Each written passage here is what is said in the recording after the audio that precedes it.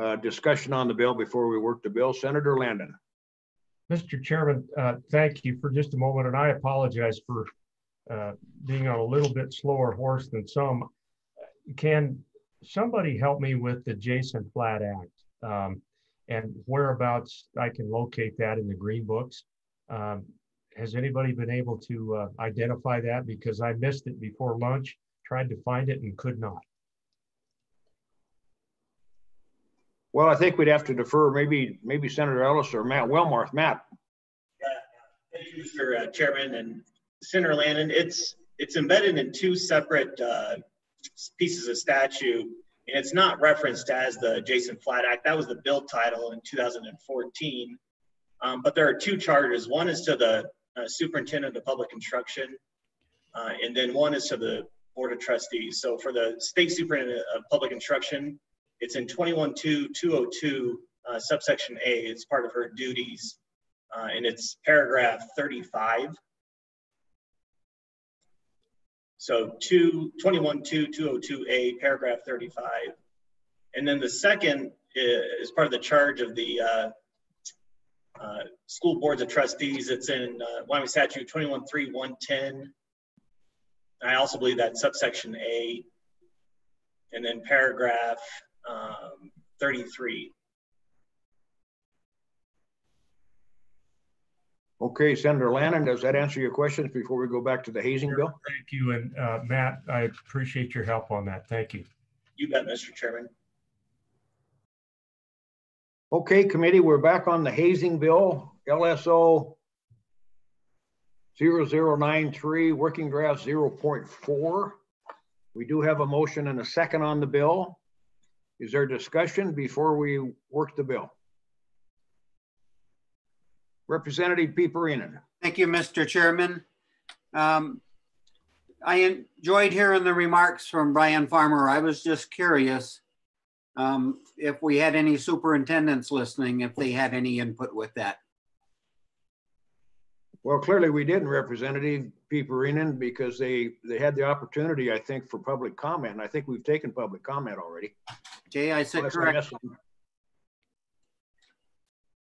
missed. Mr. Chairman, Senator Rothfuss. thank you, Mr. Chairman. To address Representative Piiparinen's uh, question, though, we we had some former um, former superintendents participate in the in the drafting uh, that that are, are since retired.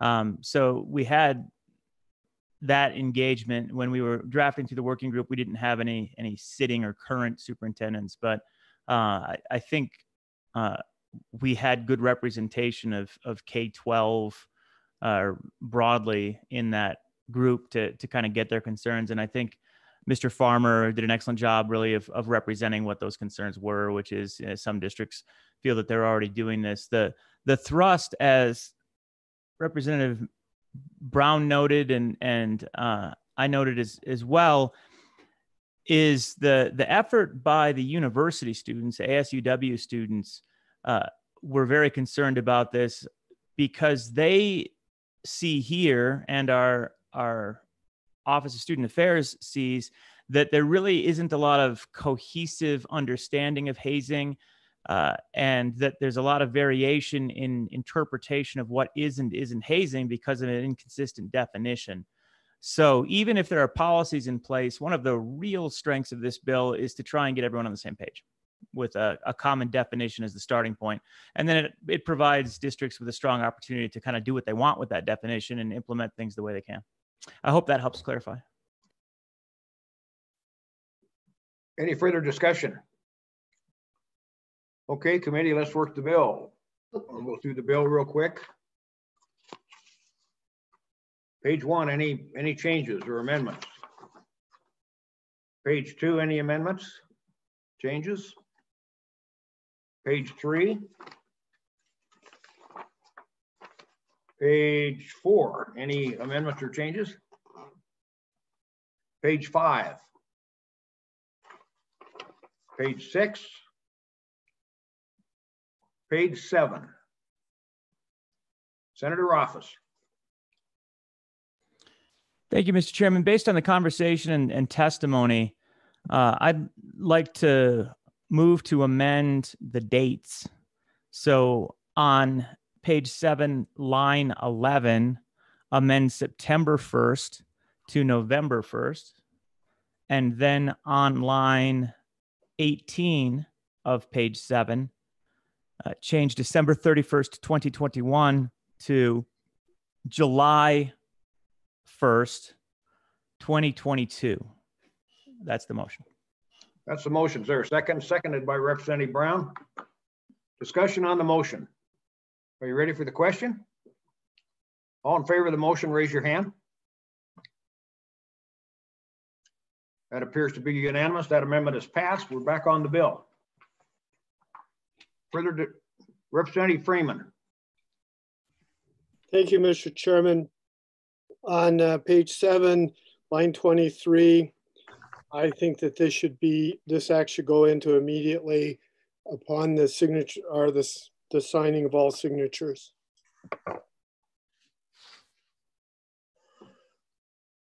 Okay, is that a motion, Representative Freeman? And there's a second by Representative Brown. Everybody understand the amendment?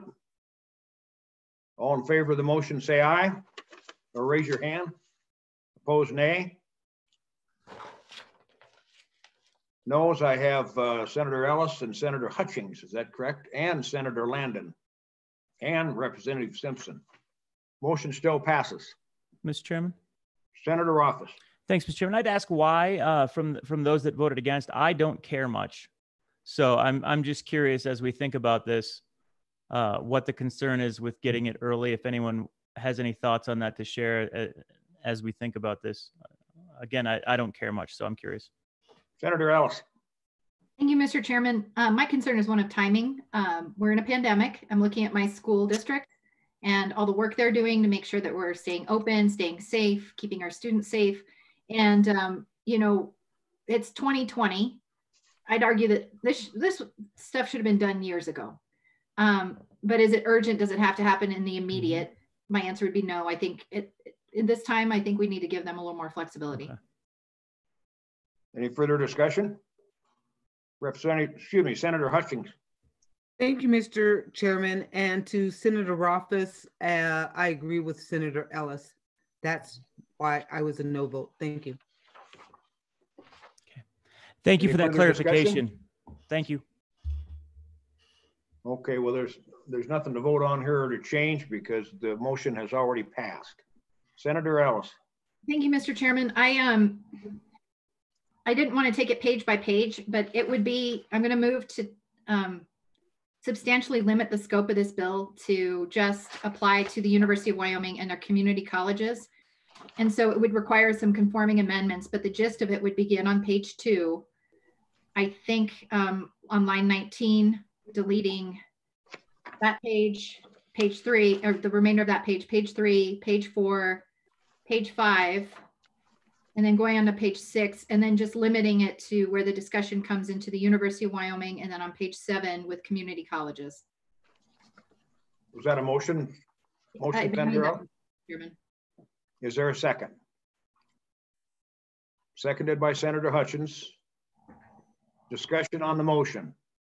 Mr. Chairman, Senator Ellis. I appreciate what the, the, the bringers of this bill are trying to, to do. And I do think that, you know, in response to the university students and community college students um, expressing concern about maybe a lack of policy, um, I think that that's worth more consideration. And, you know, but we've heard from our school districts that a lot of them feel like this is already covered ground in their bullying policies. And so I don't want to just create policy for the sake of creating it. Um, and again, just as one of timing, you know, we've got a lot going right now, and I just don't know that this needs to be the time for us to.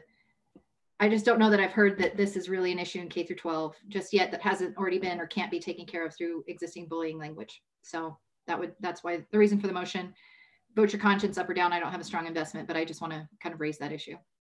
Further discussion. Senator Office. Thanks, Mr. Chairman. Uh, first of all, before I kind of get into discussion, um, as part of this motion, uh, Senator Ellis, the language on page two, the definition itself, uh, to make the motion work, that that's going to need to be relocated somewhere else because that's actually in K-12 statute. in Mm. some definitions there that are related to some of the the bullying and, and harassment language. So um, I would suggest as part of your motion that you amend that to find a more appropriate place for that language, uh, which would either be in in the the Commission for Community Colleges or the university um, as part of your motion to make sure the motion is is internally consistent. Thank you, Mr. Chairman. I was, uh, I thought that when I said uh, conceptual and conforming amendments, that that would kind of be encompassed.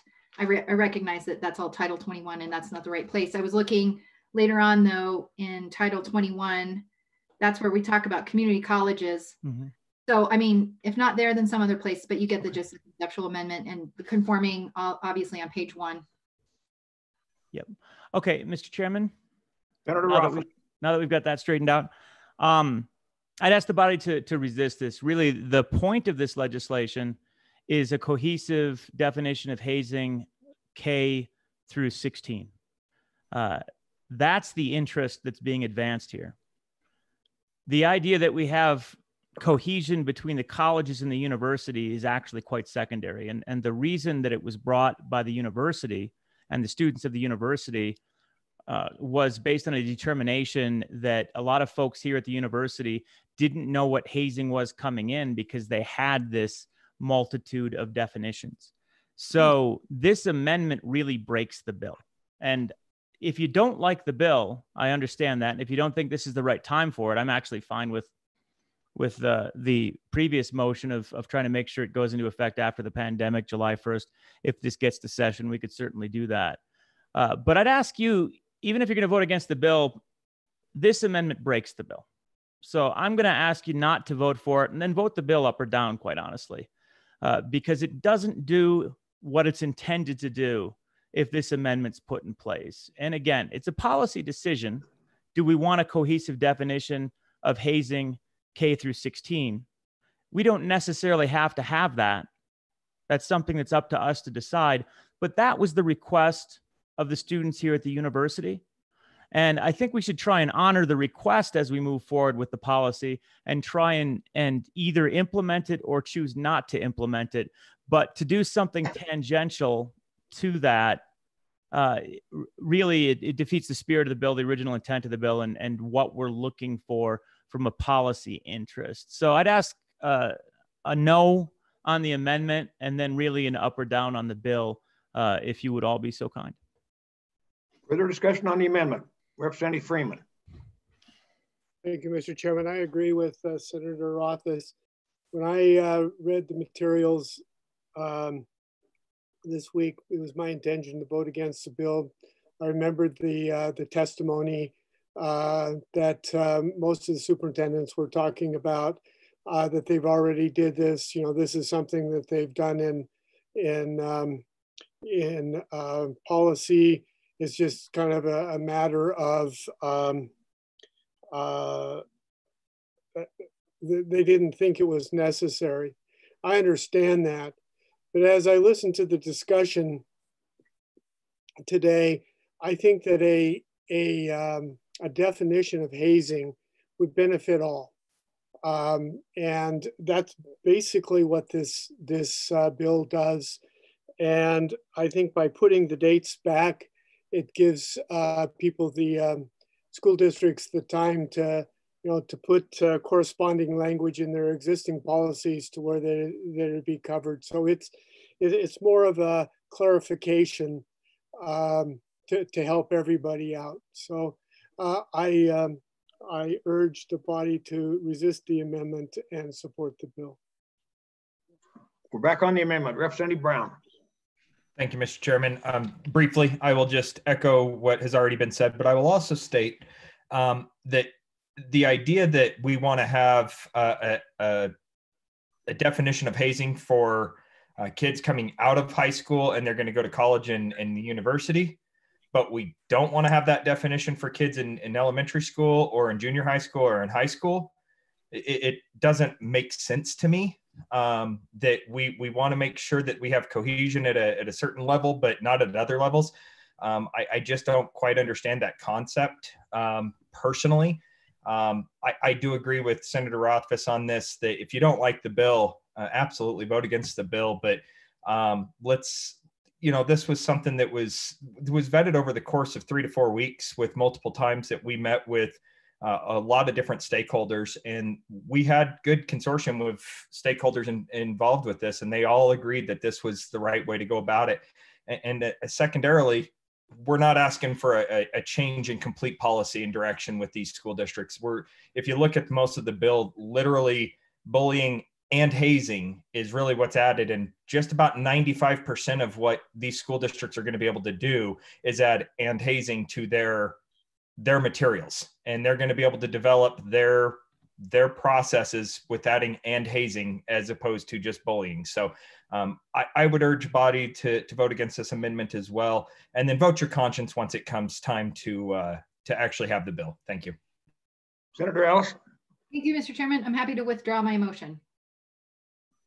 Is the second okay with that? Who was the second? Senator Hutchings, are you okay if we withdraw the amendment? You know, I um, thank you, Mr. Chairman, for asking. I'm a little concerned. I'm kind of going in line with keeping the amendment and then letting the people vote it up or down. And the reason why is um, we act as if students don't have the ability to look up a word and find the definition for it. If we're having a problem with hazing K through 12, um, and a student is concerned, I'm going to go into college or UW or community college, and there's going to be hazing there. Let me see what their hazing policy is. Let me see what the definition of hazing is. If we don't think that they can do that on their own, I don't get it. I think it's this belongs in the community college and the university, not in K through 12. So I'm going to say, um, no, I'm not okay with it, but I'll let the dice roll as they may. Yeah, Senator Hutchings, I might remind you if you're okay with withdrawal, then you can bring another amendment to bring it back if you want to, and then see if you get a second. But we have to deal with the motion and the sponsor of the amendment, Senator Ellis has agreed. I'll go ahead and say I'm going to agree to uh, withdraw it and um, just no, I'll vote no on the bill. Thank you. Senator Hutchings has agreed, so the amendment's off the table. We're back on the bill. Any further discussion? Are you ready for the question on the bill? Question. Matt or Josh? Josh, uh, do you have any comments be, uh, before we take roll? Um, I do have one comment, Mr. Chairman. Um, uh, now with the effective date of the bill being immediate uh, from that last amendment, um, the, there's no direction in that section two to the university and the community colleges onto when they would need to adopt these policies. And so it could be interpreted that they would have to essentially adopt some sort of policy immediately um, um upon passage of the bill. So something you may want to consider, Mr. Chairman. Senator Rothfuss. Thank you, Mr. Chairman. I'm going to move for reconsideration of the motion, excuse me, to change the effective date to immediately.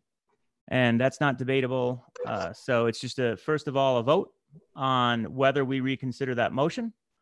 And then the motion will be in its exact immediate prior position for a second vote as to whether or not you support changing the date to effective immediately, uh, recognizing what we just heard. So, first on the reconsideration, uh, and I'd ask for a yes on the reconsideration, and it would be a no on the motion to take it back. Is there a second? I don't think there needs to be, but there are. Yeah. Okay, we're on the. Does everybody understand we're on the motion to reconsider? That's non-debatable. All those in favor of the, of the motion to reconsider, raise your hand. Okay, that passes. Now we're back on we're back on the original bill. On the motion itself for, for amendment, Mr. Chairman. Senator so, Roth. Mr. Chairman, that would be a we're on the motion now, yeah, back in exactly. its original position to amend. We originally passed it and my contention would be now it would be better to vote no. Okay, any further discussion on the motion? All in favor, all, all in favor, raise your right hand. Opposed, no. The noes have it. Now we're back on the bill. True. Are Question you on the ready for the question on the bill? Ready for the question? Josh, you want to take roll on LSO 0093, working draft 0.4? All right, Mr. Chairman, this is for 21 LSO 93 as amended. Uh, Senator Ellis, No, Senator Hutchings, Yeah, you're Senator- muted, Senator Hutchings. Would you unmute, please?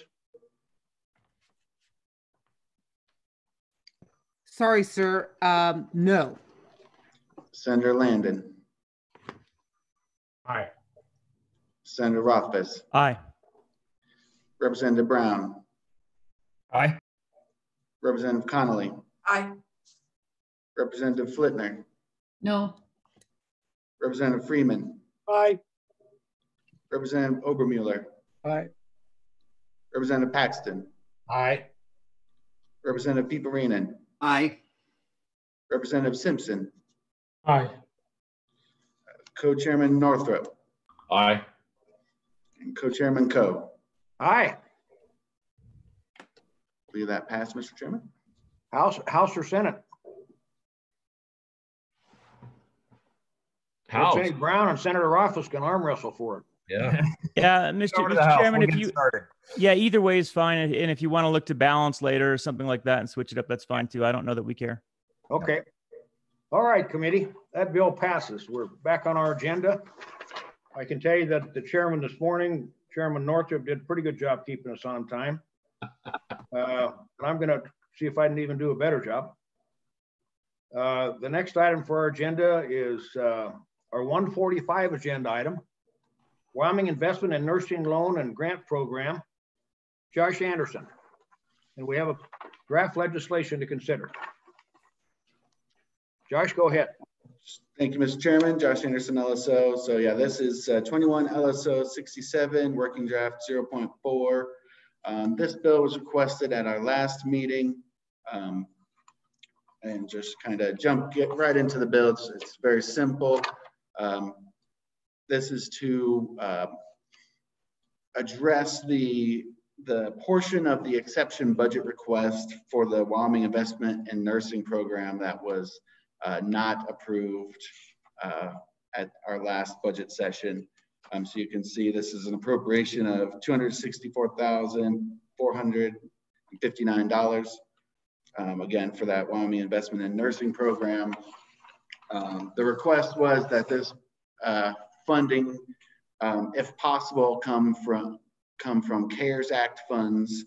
And then to the extent it would not be able to come from CARES Act funds to come from the LSRA. And so you can see there on page two, uh, paragraph one, uh, that's where the CARES Act appropriation is, is located. And then over on the page three, paragraph two, that's where uh, the, any balance would come from the LSRA. Um, the rest of the bill is pretty much just uh, housekeeping uh, due to the nature of how those CARES Act funds are appropriated. Um, I would note that uh, at the end of the bill, this goes into effect immediately. Um, obviously, if there was a special session under the current, if there's not a special session, sorry, under the current uh, CARES Act directives, um, that those all expire uh, before this bill would become effective. Um, and with that, I stand for any questions, Mr. Chairman. Questions to Josh? Okay, committee discussion on the bill. Is there any discussion on the bill? Okay, I'm going to take uh, public testimony. I see we have Aaron Taylor in the waiting room and uh, I don't know, do we have anybody else? So I'll, I'll go to Aaron, Aaron Taylor. Please proceed. Hi, good afternoon, members of the committee. My name is Aaron Taylor.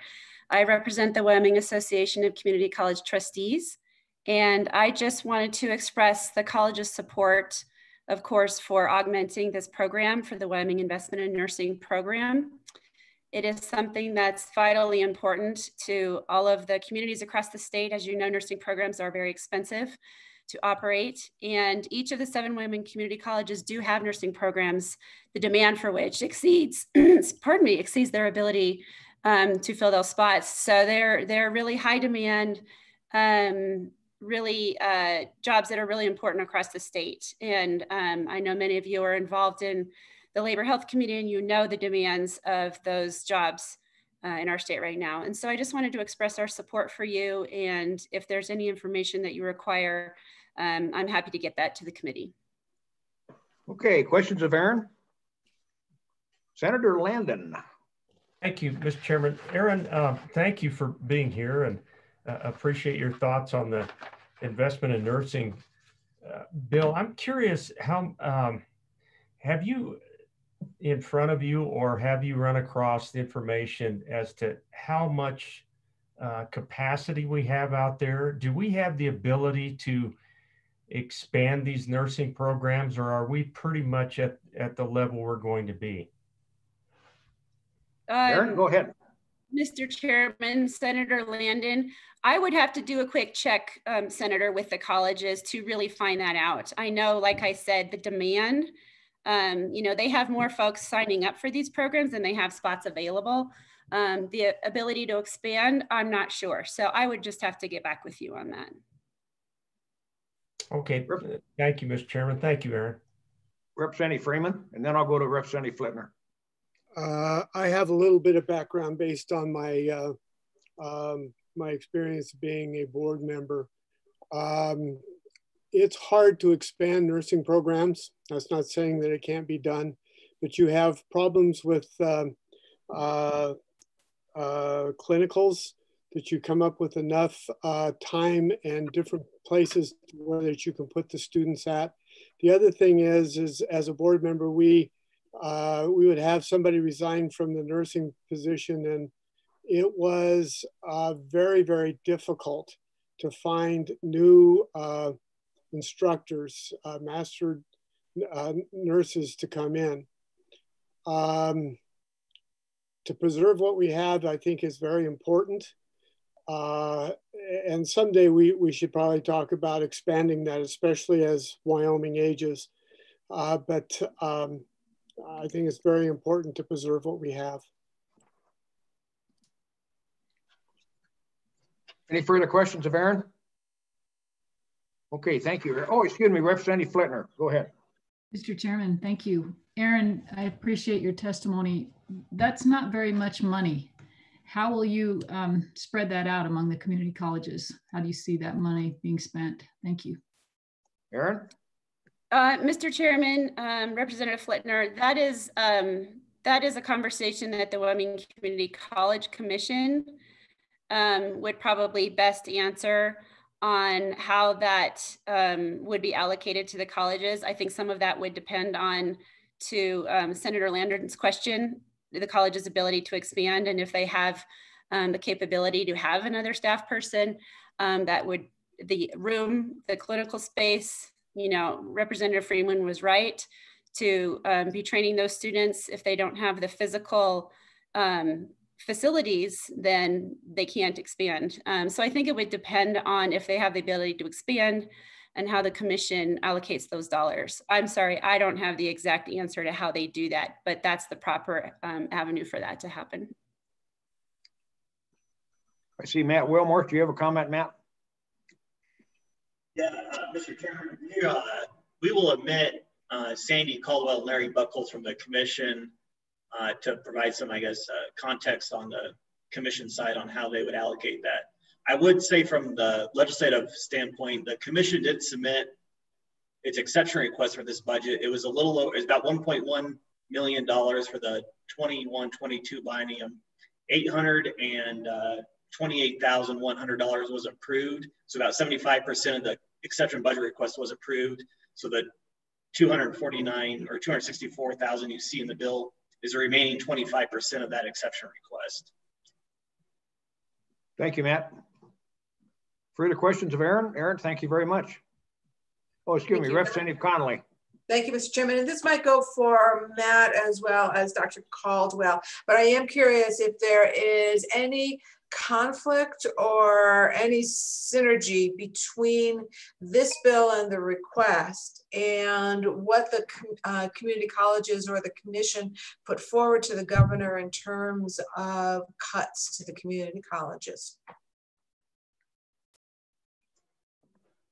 Mr. Chairman and, and Representative Connolly, to that question, my understanding of the, the kind of phase two cuts that were submitted from the commission uh, shielded this program. They weren't, they were not included in those cuts. Uh, but I'll defer to Dr. Caldwell and, and Mr. Buchholz to, to answer that further. Dr. Caldwell, see you in the waiting room. Would you like to comment? Yes, Mr. Uh, Chairman and members of the committee. And then um, we also have Mr. Buckles on here as well. Um, we can answer the question uh, on the how the funds would be distributed. This, uh, this funding is the exact uh, cost for the faculty uh, that are associated with it. So it's distributed based on the actual faculty uh, costs.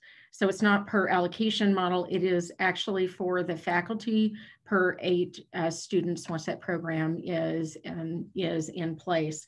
This is a, a shortfall for the total amount um, that it takes to make that whole, which we would be um, having to take off the student grant amount. And I'll let Mr. Buckles talk about that detail. And then in terms of the uh, step two budget cuts, um, this one was is not in uh, the list and the recommendation that the governor uh, made. It would uh, potentially come into play uh, for the step three or the 20% or the additional 10 on top of the 10% uh, cuts. And with that, if I may, I would like to let uh, Mr. Buckles add some specific detail around that. Thank you, Dr. Caldwell. Please go ahead, Mr. Buckles. Thank you, Mr. Chairman. Larry Buckles, CFO for the Community College Commission. Um, just to add a little bit more detail, um, what this would do is, is really makes the faculty side of the appropriation for the WIN program whole. Um, we have already fully funded the colleges for the first year of the biennium and reimbursed them for their faculty costs, which include benefits um, for fiscal year 21. This structurally right now, I don't have enough funding to fully fund the faculty in the second year of the program. So that shortfall of $265,000 would be proportionally spread out among all seven of them. They would get less than their total cost. Um, so that's how the allocation would happen for the second year of the biennium if this appropriation is not done. However, we do have, still have the option, should there Mr. Buckles, I believe that Representative Brown has a question. Uh, sorry to interrupt you. Yes, sir. Thank you, Mr. Representative Chairman. Brown. Mr. Buckles, just a quick question for you on that. You say you don't have the money in there, and I'm I'm trying to remember this conversation, but it seems like it was three or four years ago, not just three or four months ago. Um, can you explain to me why we don't have the money um, sitting in there right now? Why the the money's not available to to make this completely whole? Uh, Mr. Chairman, Rep Representative Brown, um, it's a it's a couple of different factors. The program has grown over the course of the last few biennia, and we have never come back to the legislature asking for a an exception request to fully fund the program. We always had money available in the form of carryover or um, to take money from the student side of the appropriation that wasn't being utilized and prop up the faculty side of things. The student side now is being utilized up to its capacity. So I don't have the, abil the, the ability to borrow from that side of the pot um, from the appropriation to do that. So there's been expansion of the program and I mean, that faculty get raises. Um, and we never, we never asked for an exception request for that either to, to buffer that appropriation follow up. Brown, follow up. So, Mr. Buckles, on that on that stance there, then I'm guessing you have probably read and reread the CARES Act as many times as it relates to this. Um, what is the likelihood that the CARES Act can be used for this, as opposed to going the secondary option and and digging into the other funding for this program? Mr. Chairman. Mr. Buckles, go ahead. Thank you, Mr. Chairman. Representative Brown. uh, I'm not an attorney, um, and I can't really express an opinion, but I have heard that it would not be an appropriate use of the CARES fund, um, the CARES Act funding. Thank you. That's what I thought. So I'd remind everybody that if uh, uh, we pass a bill and don't have a special session, we won't even have an option to to consider the CARES Act funding. So, okay, further discussion from testimony, Mr. Buchholz, Dr. Caldwell. Okay, thank you very much. Okay, committee discussion on the bill. Or uh, the chair would entertain a motion on the bill. Is there a motion on the bill? So moved.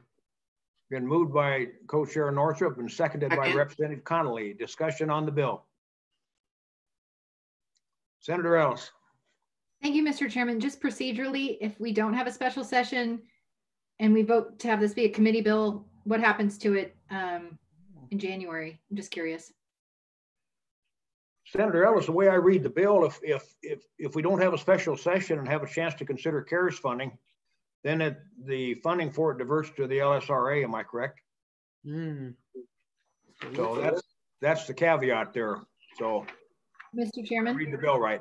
Senator Ellis. Mr. Chairman, I guess that was my question is, so this is relevant with CARES.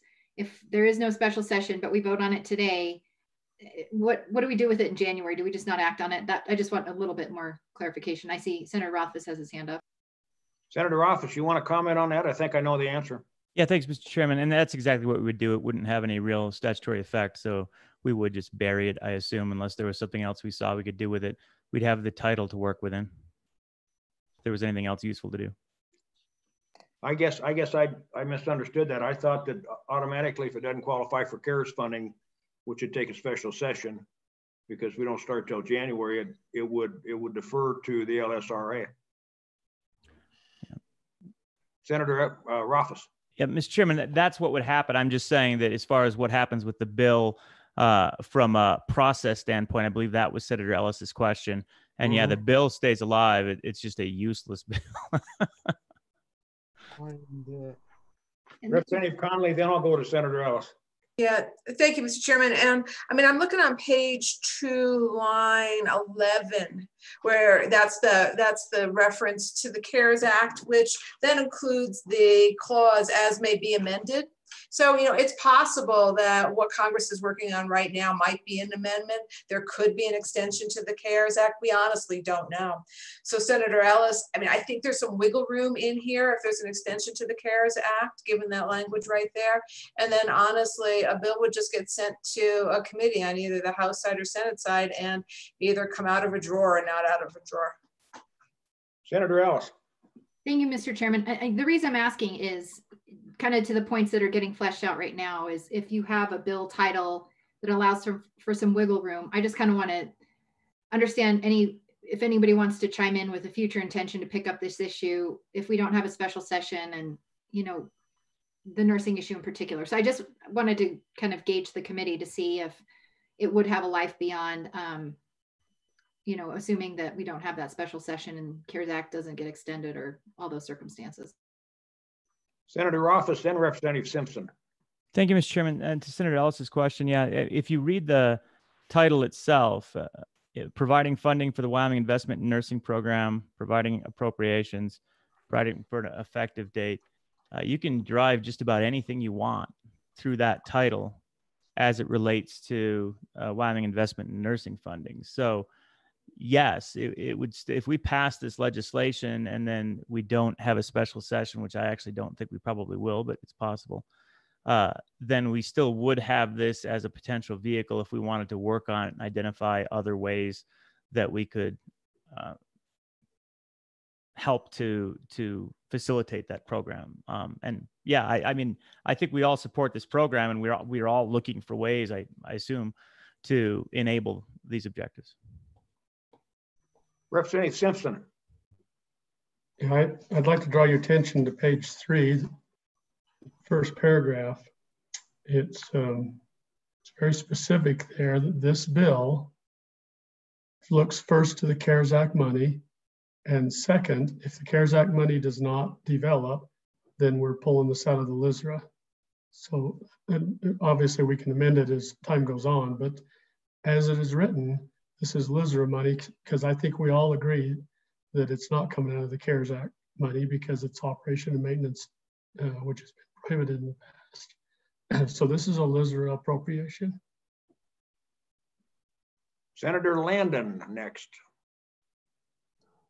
Well, Mr. Chairman, thank you. I, uh, Senator Rothfuss really encompassed most of my uh, thoughts that I was going to share. I, just for the record, I, I'm probably willing to keep this alive uh, simply because of uh, the comments that Representative Connolly made, which, um, you know, there there might be some potential down the road for some modifications to the CARES Act uh, uh, funding, which uh, might benefit something like this.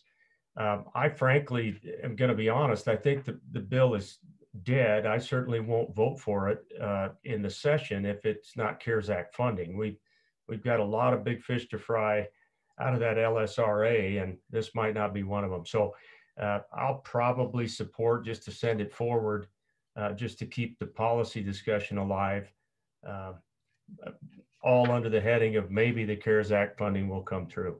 Thank you. Further discussion? Any further discussion? Okay, I'm trying to remember, do we got a motion on the bill? I can't remember. We don't have a motion. The chair would entertain a motion on the bill. Oh. You, you do have a motion, Mr. Chairman. I made it. Senator, yep, that, that's right.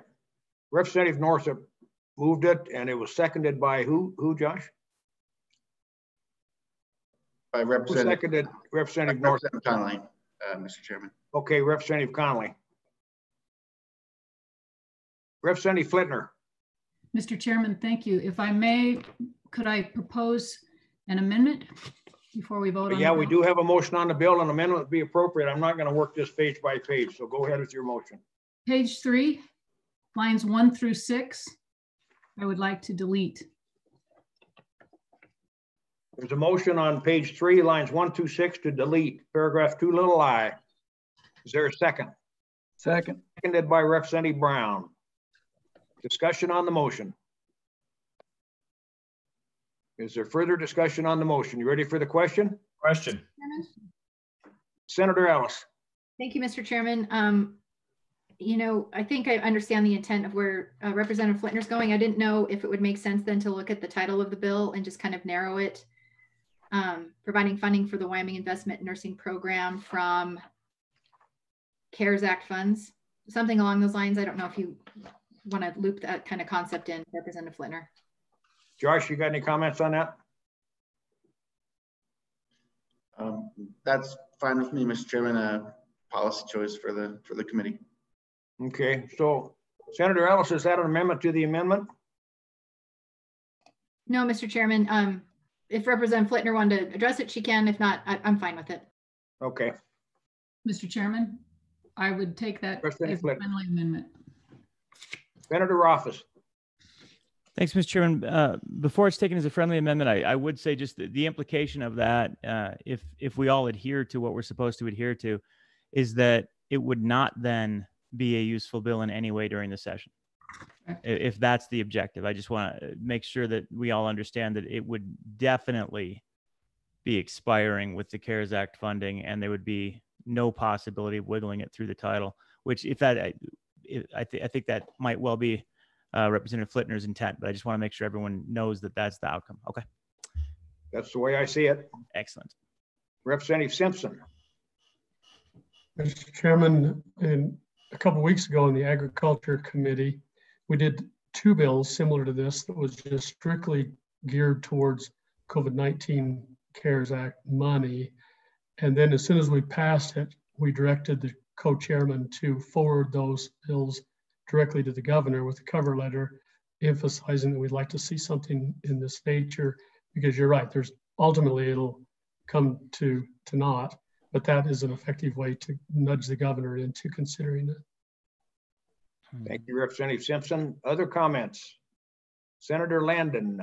Uh, Mr. Chairman, thank you. And just to pick up on Representative Simpson's uh, good comments, um, the the executive branch has actually been uh, pretty responsive, and I would uh, give them kudos. Uh, Having served on the broadband task force, a couple of other efforts in, in May and June.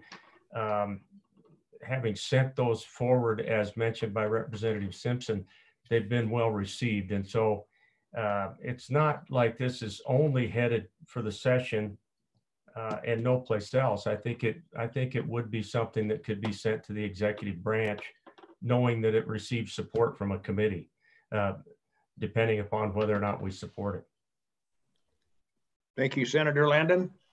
Okay, we're on the Flitner amendment. Everybody understand it? Mr. Senator Chairman. Ellis.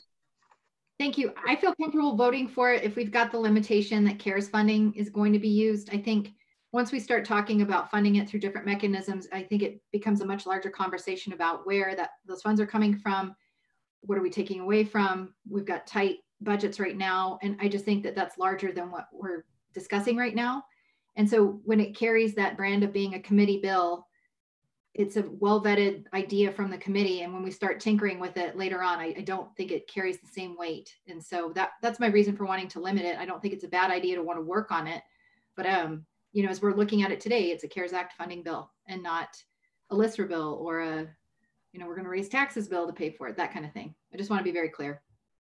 Definitely a CARES Act funding bill right now if we pass this amendment. Representative Obermueller. Uh, just to be clear, Mr. Chairman, so Representative Flitner is going to include this in her amendment? The way I see it, uh, is that what's yeah. are we voting on a Flitner amendment that includes the change of the title? That's my question. That's my interpretation. Senator Office, do you see it that way? Everybody else see it that way? Mm -hmm. Yeah, that's exactly what we're voting on. Okay, we're on the Flitner amendment to delete lines one through six on page three. All in favor of that motion, raise your hand.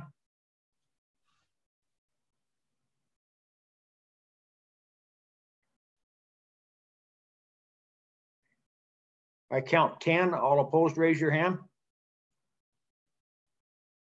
Three. 10 to 3. That motion has been adopted. We're back on the bill. You ready for the question on the bill? Question. Question. Question being called forward. Josh, you want to take roll on LSO 0067, working draft 0.4? Mr. Chairman, this is 21 LSO 67 as amended. Senator Ellis. Aye. Senator Hutchings. No. Senator Landen. Um, aye. Senator Rothfuss. Aye. Representative Brown. No. Representative Connolly. Aye. Representative Flitner. Aye. Representative Freeman. Aye. Representative Obermueller.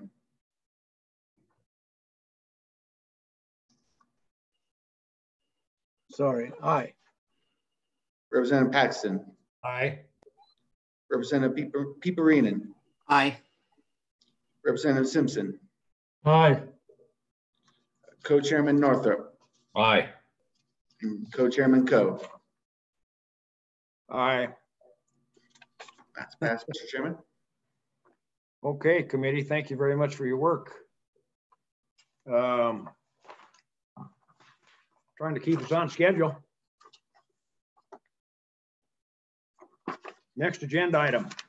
Excuse me, Representative Simpson, go ahead. Mr. Chairman, I move that we direct the co-chairman to draft a letter and forward this last bill that we just approved on to the governor. You know, Representative Simpson, I'm not sure that we need a motion to do that, to have that be a matter of the record. I think that you can can request that, and if, if there's no objection, the chairs will just do that. Is that uh, Uh, is that the way to do that, Josh? Okay, if there's no objection, the chairs will draft a letter and send it to the governor. Thank you, Representative Simpson. Moving on with our agenda. This is the 215 agenda. I'll be darned, we're about 10 minutes early. That's what a good chairman does. K-12 recapture schedule and county treasurer disbursements. We have Josh Anderson. Josh. Thank you, Mr. Chairman. Yeah, this is 21 LSO 66, working draft 0.3. Um, this bill we discussed briefly at the last meeting. Um, this comes out of uh, just a kind of a cleanup uh, resulting from the monthly payment of ad valorem taxes on minerals that was passed last session. Uh, so due to that bill, it changes the timing of when the final payment of uh, uh, mineral product taxes will come in to the counties um, for the first few years of that transition. So previously, the final payment would have been in May, and now it's moved back to uh, June 10th. So uh, it causes some issues with uh, the timing of recapture payments. So this does a couple of things. If you look on page two, line 13, it changes uh, the date of uh, payment of the recapture payment from June 15th to June 25th. Makes the same change at the on page three, line one. Uh, again, changing that date to from June 15th to June 25th. And then the remainder of page three is uh, when those uh, funds are provided from the county treasurer uh, to the county school fund. Um, it's currently on the second Monday, um, but this year that would have been June 8th, and these payments wouldn't come in until June 10th. So it says, so it'd be the second Monday plus on June 20th or the last business day before June 20th uh, to account for that uh, last payment of, of those mineral product taxes. And with that, I stand for any questions, Mr. Chairman. Any questions to Josh? Okay, discussion on the bill. Is there discussion on the bill? I think we talked about this at our last meeting, and that's why we see the bill in front of us now. Okay. Um, Move I the think bill. I'll. Second. Been moved by Mr. Representative Chairman? Putner, seconded by Representative Mr. Freeman. Chairman, Mr. Chairman, before we have a motion, Office, Yeah, I'm going to take public comment. yeah, we should do that before we have the motion, I think. Yeah, we should do that before we have the motion. So the first person I see is Janine Bateski. Janine, go ahead. Thank you, Mr. Chair. Um, first of all, let me begin by if I can backtrack a little bit about Don Richards' presentation this morning. And I think that we should really commend ourselves for the transparency that Wyoming has on uh, our education funding, which is really not available for all the other states that have been mentioned. Brian Farmer and I have been working to try and find out, you know, as we look at their taxation, how much of it's going to education, and it is not nearly as simple as it is in here in Wyoming. But um, I just wanted to comment on this proposed legislation. We really have no issue with it, but I just wanted to remind us all Teton County is really doing more than its fair share uh, on uh, recapture. At the present time, we are targeted to send $13,294,000 of taxpayer dollars back to the state. And this is really attributable to the fact that the assessed valuation in Teton County continues to escalate at really crazy rates. My property taxes alone went up 32% this year.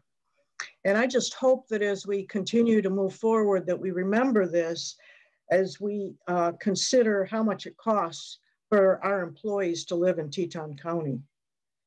And um, as we're cons considering the effects of the pandemic, it's been kind of interesting. And Co-Chairman Coe, I think you're probably experiencing some similar things. Is I think this escalation is continuing to rise as a result of the pandemic because we are seeing an influx of folks that want to get away from places where the pandemic has hit hard, for example, New York, Texas.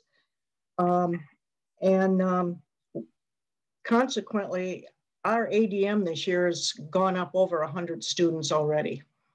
So I just wanted to bring that to the committee's attention and I stand for any questions you may have. Thank you. Yeah, I'd just like to follow up and say over here, it's the same way. And you alluded to that. Uh, people are buying homes virtually, sight unseen, uh, with no inspections. Uh, it's just, and the inventory is gone. It's pretty much gone around here. Senator Landen. Mr. Chairman, thank you. Just to add to some great comments, Jenny, thank you for that. Um, just to add to the conversation, um, we took a trip up to Big Sky uh, about a month ago, uh, where our son lives and helps to run that ski resort up there. Mm. Uh, Big Sky is an unincorporated town, and it's remarkable how many people they have seen move to Big Sky permanently. They came this summer. Normally, they're there two weeks out of the year, living in the big homes, but now they've decided to live there and came to the town and said, We're just going to send our kids to school here. Uh, up there in that particular unincorporated town, they were able to say, No, I don't think so. I'm sorry. Uh, you can't send your kids to school here because we don't have the infrastructure, the teachers, the wherewithal to take care of your kids for you. So here in Wyoming, I think that same thing is going on as Ms. Teske just uh, testified to. And, and so, uh, well, guess what? Um, we need to accept the ADMs and away we go. But uh, I thought that was interesting what, what I learned up there in, in uh, Montana. But just one other reminder is that the two big causes of the um, increasing cost of education in the state of Wyoming are health insurance costs and ADM. Further questions for Janine? Any further questions?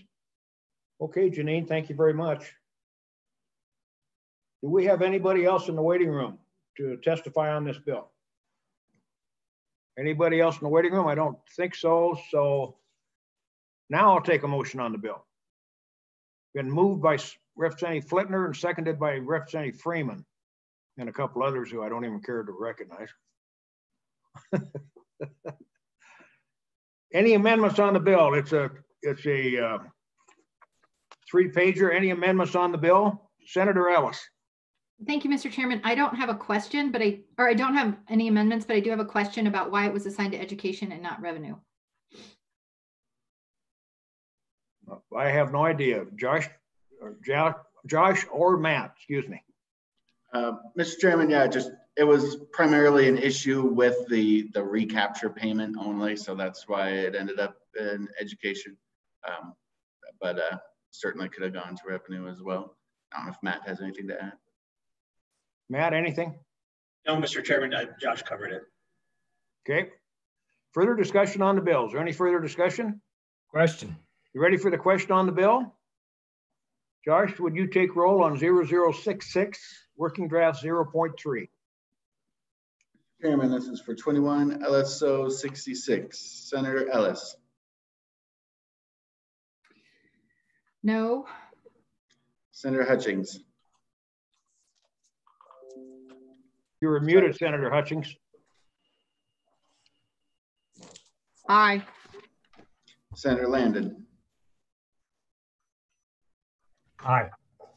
Senator Rothfuss. Aye. Representative Brown, Aye. Representative Connolly. Aye. Representative Flitner, Aye. Representative Freeman, Aye. Representative Obermueller, Aye. Representative Paxton, Aye.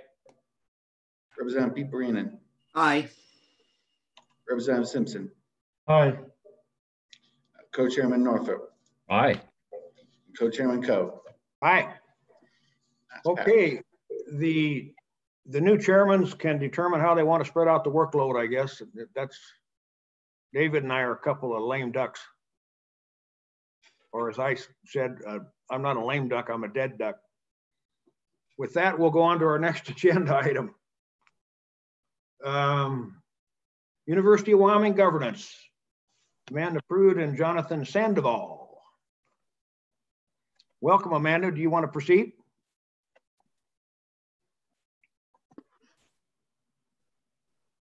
Mute.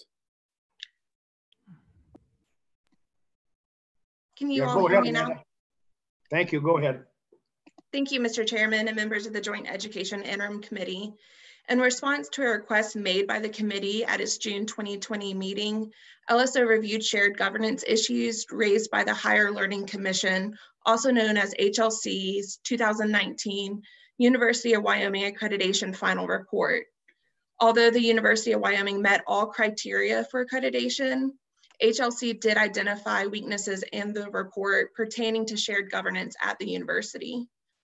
Along with discussing the weaknesses found in the HLC governance report, LSO's short report includes a literature review of research discussing shared governance, along with describing governance practices of surrounding states land grant universities accredited by HLC. HLC uses five criteria for accreditation as the standards of quality by which HLC determines whether an institution merits accreditation or reaffirmation of accreditation, which can be found on page one of the report. As previously stated, the university did successfully meet all five HLC accreditation criteria, including those which assess shared governance practices. However, the HLC report did identify two weaknesses with, with respect to shared governance, which will be the focus of our presentation today. The weaknesses identified are number one, no requirement for the Board of Trustees to seek internal or external um, input during its decision-making process. And number two, the overreach by the board in the day-to-day -day management of the university. I will present on the first weakness discussed in the short report of having no requirement for the board to seek input from internal or external constituents during its decision-making process, a literature review of the best practices in seeking input, and the review of governance structures and accreditation reports for four land grant universities in surrounding states pertaining to seeking input from constituents. To conclude the presentation, my colleague Jonathan will focus on the overreach by the board in the day-to-day -day management of the university, best practices, and the comparative states when assessing day-to-day -day management. The HLC report noted University of Wyoming's board did seek feedback and public input prior to some decisions, but not others, which raised concern across the campus. While there is no requirement for the board to seek input, the HLC report found that input sought is a function of the current board's goodwill, and there's no assurance input will be continued to be solicited in the future. When reviewing benefits and best practices in research and literature, LSO review, um, literature review regarding internal and external constituents in the decision-making process can be found on page five of the report. These are as followed. The value of shared governance adds institutional progress and innovation, and how the responsibility and accountability for addressing institutional challenges often rest in multiple parties. Shared governance provides each internal constituent group with primary authority over its area of expertise, including a voice in decisions affecting the programs, the organizations, and the traditions of the university and institution. Shared governance builds social capital, capital, including relationships of trust and cooperation, which enables an institution to fulfill its goals. And although governing boards hold ultimate authority for an institution as defined by bylaws and other foundational documents, authority is delegated to institutional leaders and faculty through shared governance. Many times presidents are charged with institutional leadership, strategic planning, and daily management of the institution, whereas faculty are charged with educational design and delivery. The importance of including faculty members in the decision-making process, along with receiving input from other internal and external constituents can assist governing boards to make more informed decisions with the input of the subject matter experts. And while faculty are often the primary internal stakeholder in shared governance, Additional internal stakeholders can include academic and co-curricular support professionals, such as student and financial aid advisors, career counselors, and technology support, all of whom contribute to the academic mission and are crucial for student success at institutions. Research also stated institutional boards should ensure open communication with all campus constituents, including staff. This group of internal constituents have a vital stake in the institution and should be given the opportunity to be heard on various issues and participate in the governance process. And lastly, boards do play an important role in relating their institutions to external constituents as well. Governing boards should serve as buffers between the university and the political structures, partisan politics, and the pressures of state government The board should serve a bridge to state government leaders whose views and perspectives concerning the conduct of public higher education as it relates to state needs and priorities should be heard and considered. As stated earlier, LSO reviewed the governance structures and accreditation reports for four land grant universities and surrounding states, states that, like the University of Wyoming, are also accredited by HLC.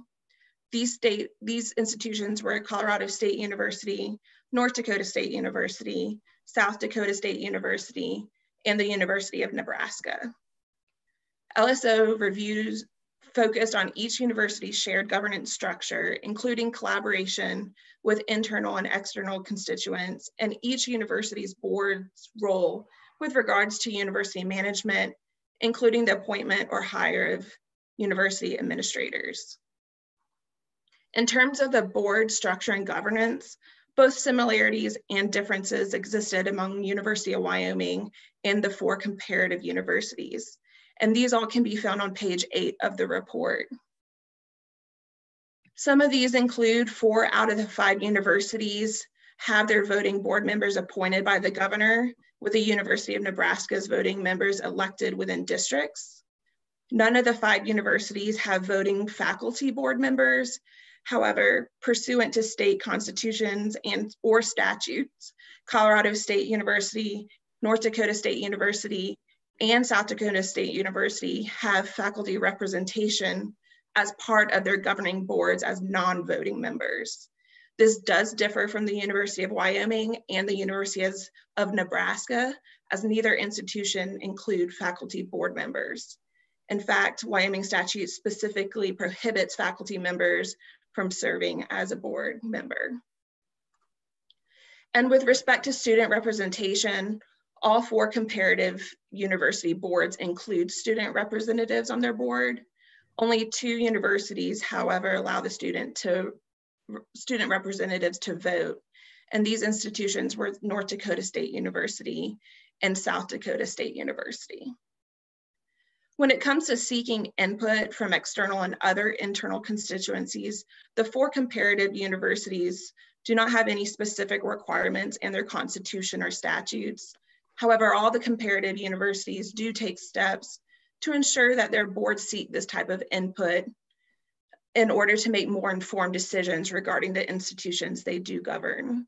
Examples of how the four comparative universities fulfill this goal are found on page nine of, of the report and include providing open segment at meetings to allow stakeholders to address issues, faculty senate presidents speaking at meetings, including student, faculty, and staff representatives on universities' governing bodies, and also conducting meetings on campus to ensure familiarity and providing an opportunity for all constituents to attend and speak at meetings.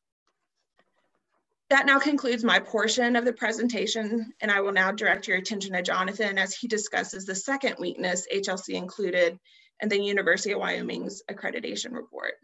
Questions of Amanda before we go to Jonathan? Okay, thank you, Amanda. Jonathan, please proceed.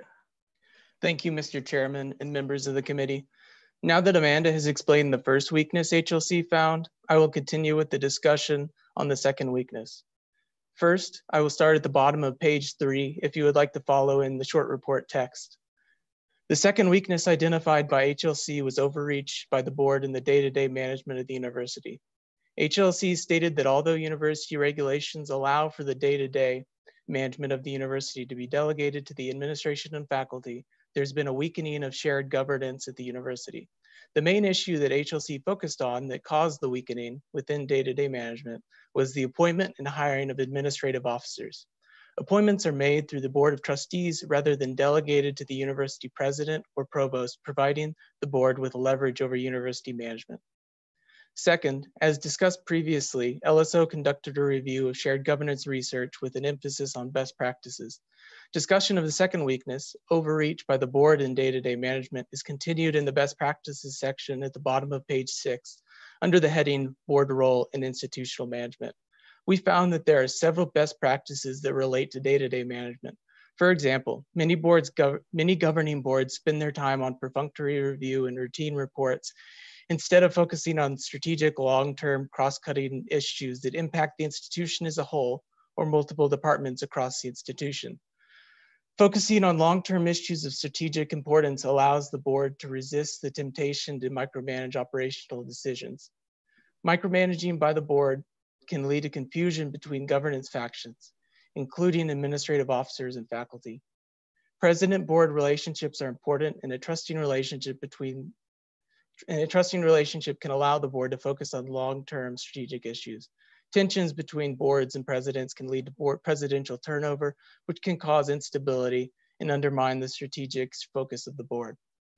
Surveys performed by the Association of Governing Boards suggest that support for shared governance is broad, but boards and faculty do not have a strong understanding of each other's contributions. This lack of understanding can lead to a friction between governing constituencies in the day-to-day -day management of an institution. The best practices we found that are relevant to day-to-day -day management of institutions tend to focus on the relationships between boards and faculty and between boards and presidents. However, we were unable to find best practices directly addressing the weakness HLC focused on, the hiring and firing of administrative officers by the board. Finally, at the bottom of page nine, we discuss how the University of Wyoming compares to comparative universities compares to the comparative universities that Amanda previously detailed in regard to day-to-day -day management. Specifically, University of Wyoming regulations confer the authority on the Board of Trustees to appoint and fire specific administrative officers, and the authority is not delegated.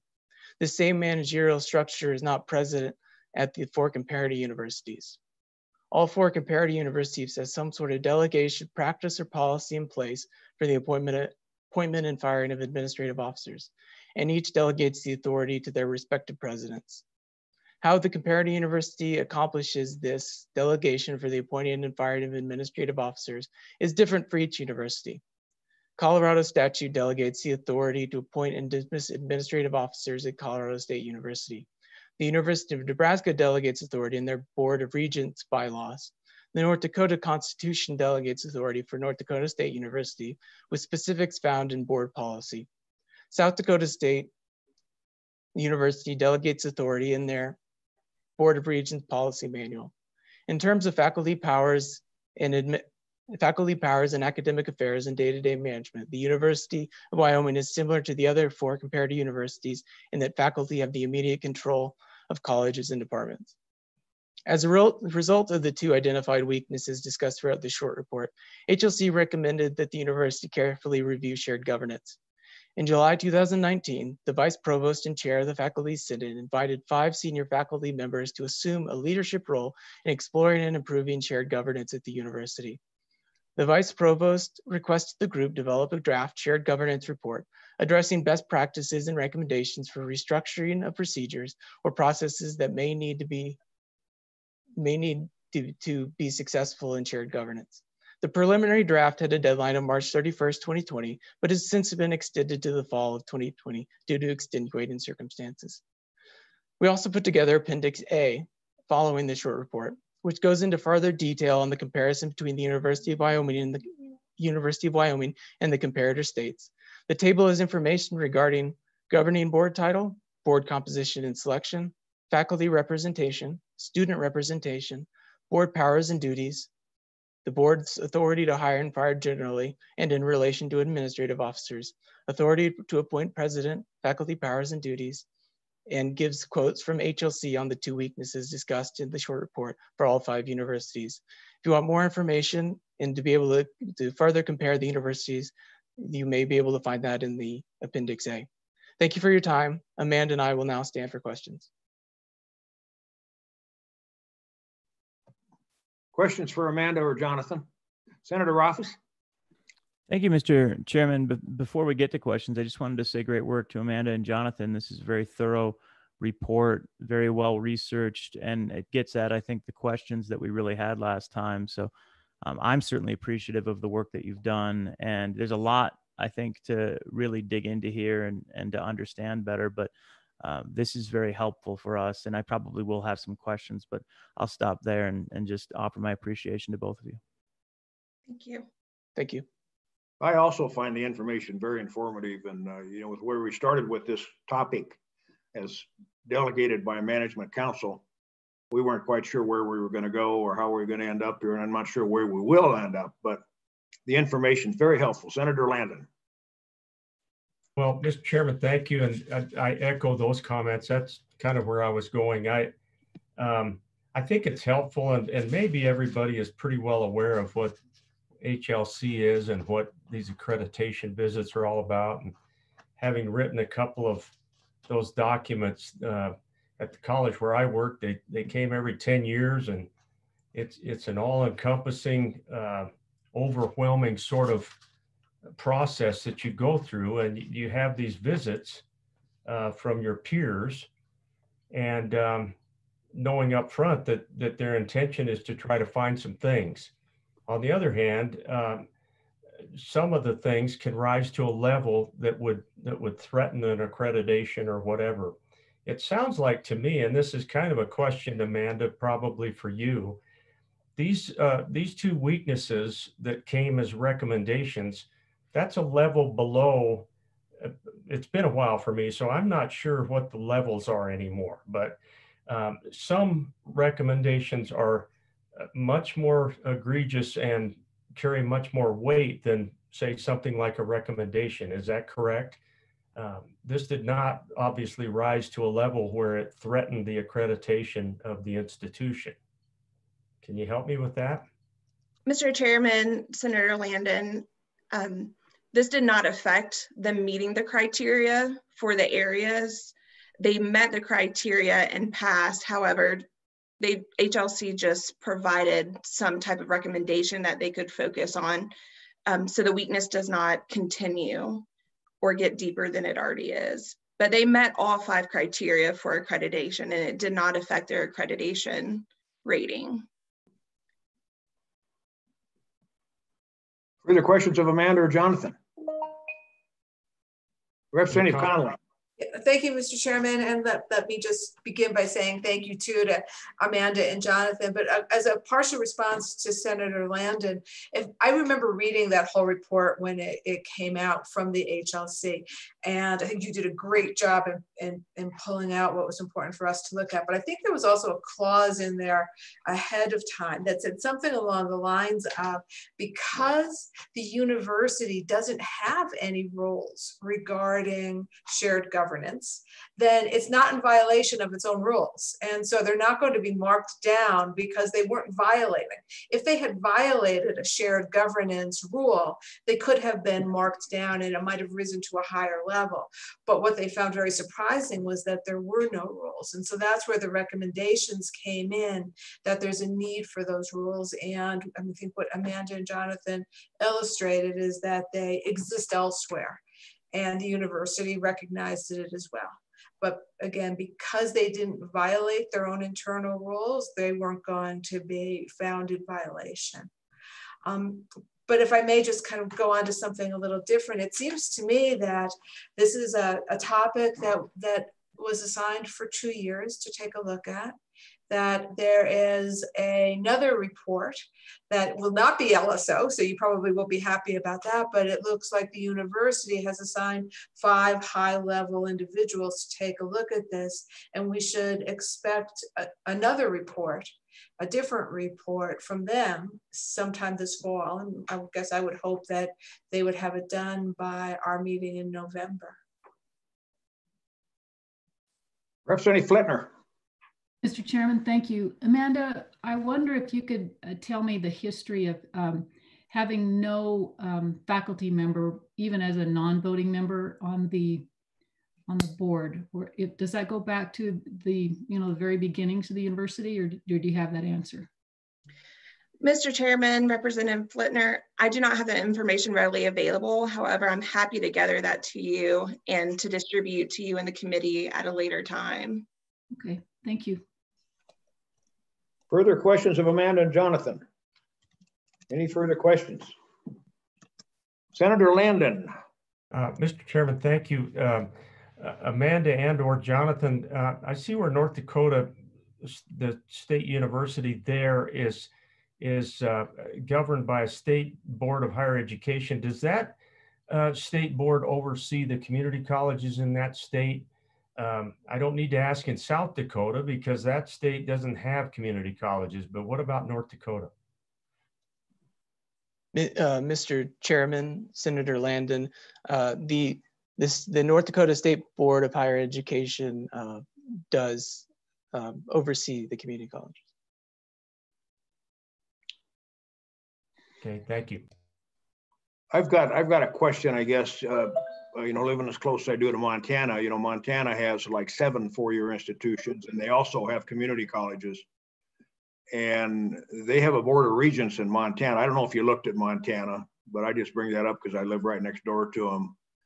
And I guess the same question goes uh, when it comes to community colleges. Do you have any idea what they do in Montana? Mr. Chairman, uh, we, we did not specifically look at Montana because uh, we were we picked out the land grant universities okay. in the surrounding states that that uh, had an HLC accreditation. Okay, thank you. Other questions of Amanda or Jonathan? Any other questions? Mr. Chairman. Senator Rothfuss, sorry, almost missed you. No worries. Which Mr. is hard to do. um, I, I do have a question. One of the organizations that was brought up and was your source for best practices was the Association of Governing Boards of Universities and Colleges. Uh, and it's my understanding that the University of Wyoming is a member of that organization. Is that right? May not know, which is okay. Uh, Mr. Chairman, Senator Rothfuss, I, I do believe they are, but I would need to, to double check okay. and get that information back to you later. And Mr. Mr. Chairman, the, the the, committee will recall the, the original budget footnote that we're operating under, and as, as Representative Connolly pointed out, this is a, a two-year project for us, and I think we've got more exploration ahead and, and more investigation ahead before we would want to take any action. But the budget footnote actually required that we bring on a, a third party consultant to conduct a study and provide some recommendations. Uh, we're using the Higher Learning Commission kind of as a proxy due to the budget shortcomings and the fact that we, we didn't have a lot of money floating around. But it seems to me that it would be worth reaching out to this organization, the Association of Governing Boards of Universities and Colleges, that that really does study this very thing, the the role of boards of trustees with respect to shared governance and see if they have any best practices or recommendations or reports that we could be looking at as well. Uh, or if they work for free, if we can get them to look at the university, or or maybe even find out what they what they would bill us to do kind of a cursory review, uh, so that we can try and get that outside look as well from an organization that's specifically familiar with uh, best practices in shared governance. So I, I, guess that would be my ask as we sort of as we move forward, and then we will eventually look at the report uh, that they have due on shared governance from the university. Uh, would that be something that we can look into?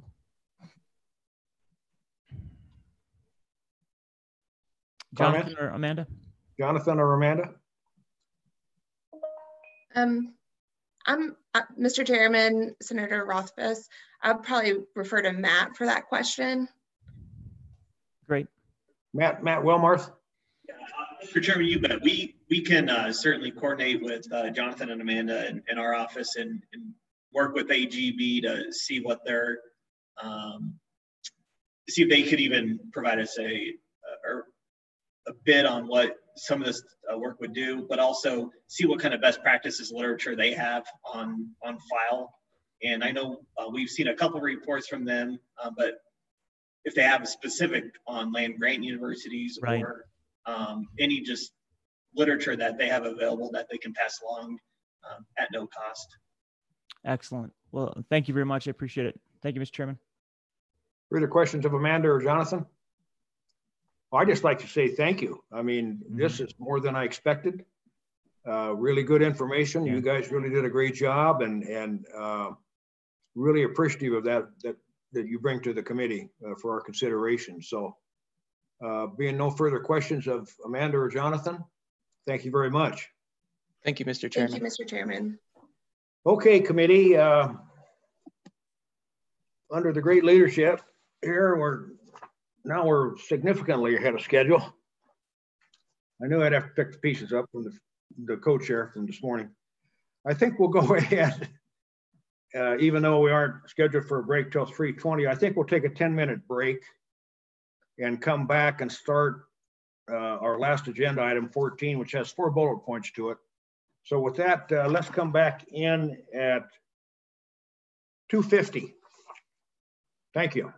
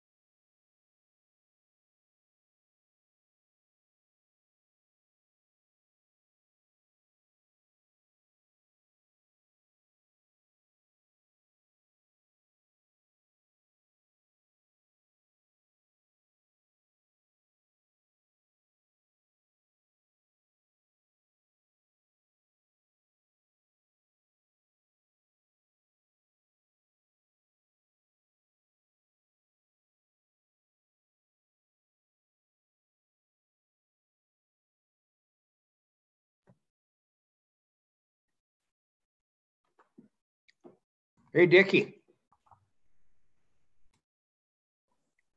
Mr. Chairman. I'm just curious, how's April? She's doing great. Just Okay. uh, helping with her six grandbabies a lot.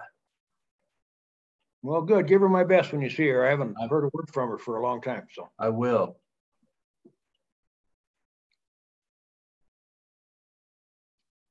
President Seidel, welcome. Thank you. Pleased to be Had the here. Pleasure seeing you last week on minerals, so it's good to see you again. Chairman. I'm just curious, how's April? Doing great. Well, that must have been on YouTube. Somebody's got their YouTube on. That was me. I shut it off. Okay. As tech savvy as I am, as Senator Landen really knows, and Rothfuss, and I'm not really sure what YouTube's all about, to be honest with you.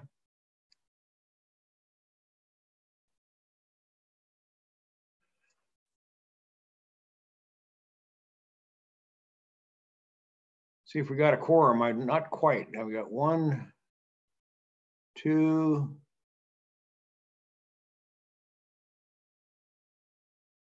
three. I don't think we have a quorum yet.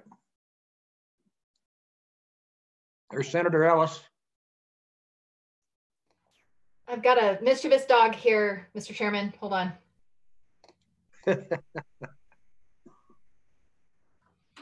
There's Lachelle Brandt from the governor's office.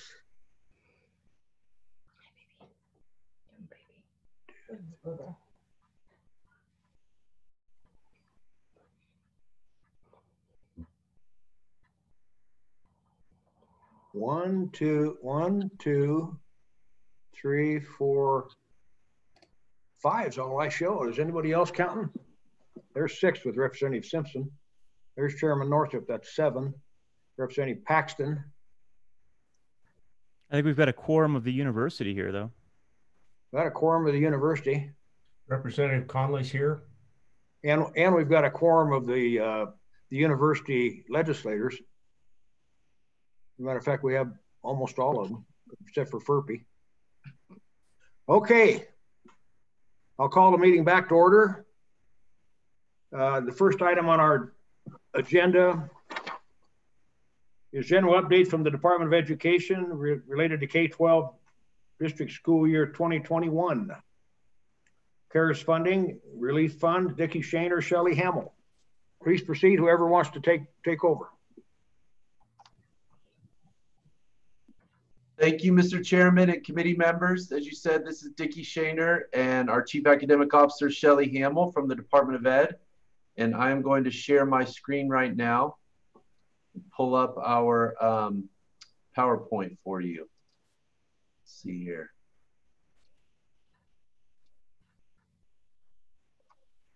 All right.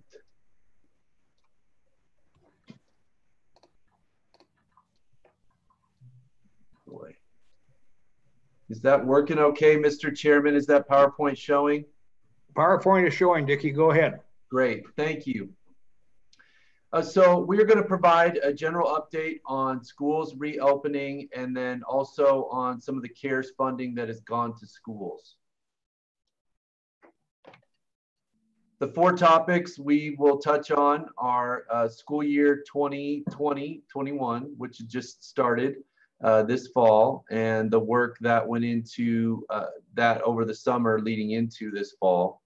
The second is what we call ESSER funding, which was the CARES Act funding that went straight to school districts uh, by formula. The third are CARES Act funds that came to the state of Wyoming in the form of the 1.25 billion uh, that were allocated towards school districts for purchasing PPE. And fourth, uh, we'll touch on testing of staff and students, both with the Department of Health as well as a recent development uh, as of this week with the White House in terms of some rapid testing uh, from Abbott Labs that they're distributing to states. So with that, Mr. Chairman, number one, talking about reopening schools, and I just want to uh, harken back to uh, March when this all started and really uh, everyone scrambling to figure out how to make the school situation work. Uh, thankfully, the wisdom of the legislature uh, over the years did have a statute that contemplated widespread illness and closures as a result of widespread illness. Uh, we were able to use that statute in order to um, close schools to in-person instruction for students, uh, but allow staff and faculty to still use those facilities uh, to deliver education remotely to students. And we called that process adapted learning.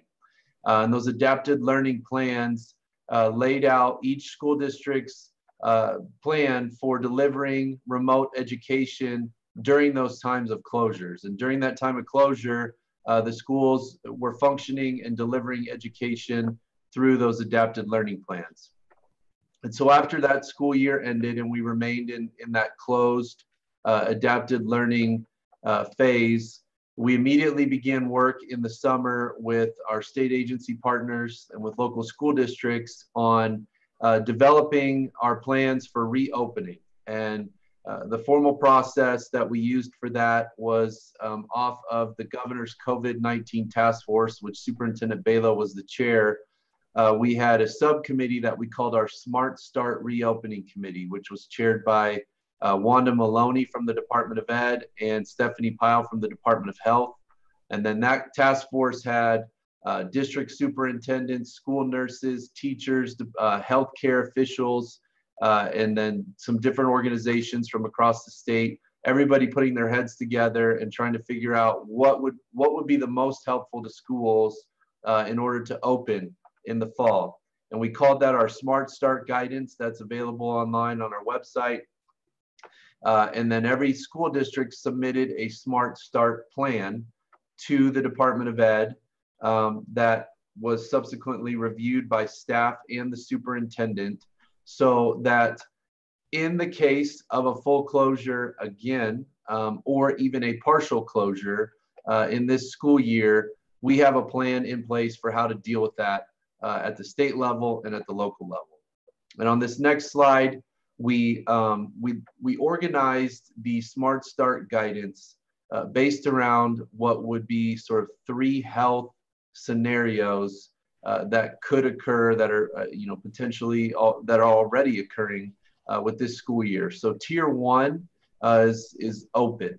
Uh, that means we have in-person classes and activities going on, probably some remote learning, virtual learning, different blended activities, but for the most part, school is open of course, with uh, the, the health protocols in place.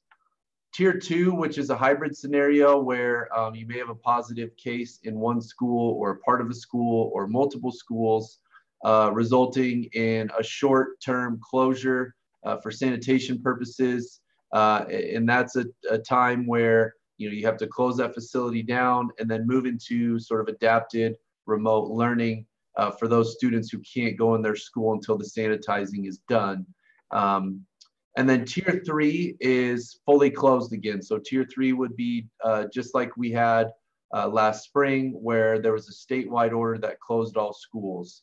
Uh, there are three school districts that are in tier three right now. Those are the three on the reservation because the reservation still has a tribal health order uh, that requires stay at home. Uh, so those three districts are um, under their tier three closed, doing what they did last semester, uh, and the rest are moving in tier one with uh, one in tier two.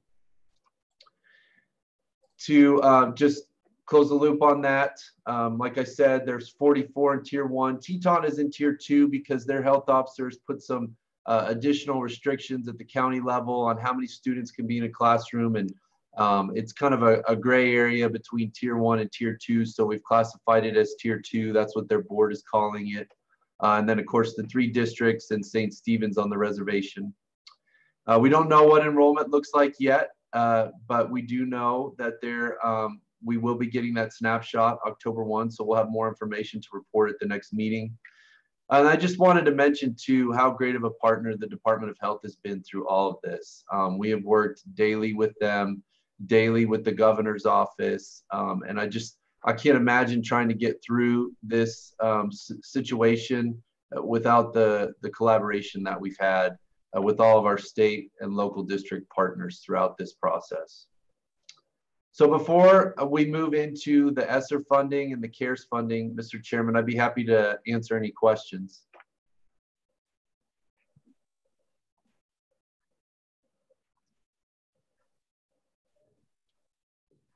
Think you're on mute. Any questions to Dickie? Seeing none, please proceed, Dickie. All right. Thank you, Mr. Chairman. At this time, I will have Shelley Hamill discuss the ESSER fund process. All right. Good afternoon. Um, and looking at number two of our presentation, I am going to talk about the Elementary and Secondary School Emergency Relief Fund, which we call the ESSER uh, Fund.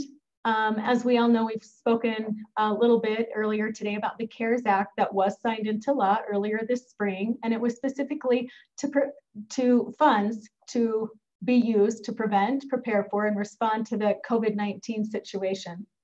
So under the CARES Act, the WDE applied for participation in the Education Stabilization Fund program titled the Elementary and Secondary School Emergency Relief, or ESSER Fund and we did receive approval for our grant application on May 28th. Um, these funds are to be provided to districts in our state to provide emergency relief to address the impact of COVID-19. Um, and that can be uh, uh, the impact that it has had or continues to have on our students and our schools. So Wyoming received a federal grant award um, that identified just over $29 million for distribution to local school districts. Their portion or allocation was based on a funding formula um, that matched their fiscal year 2019 Title I Part A allocation. So since the opening of the district ESSER grant application on June 24th, 31 districts have submitted applications with 29 of those being approved.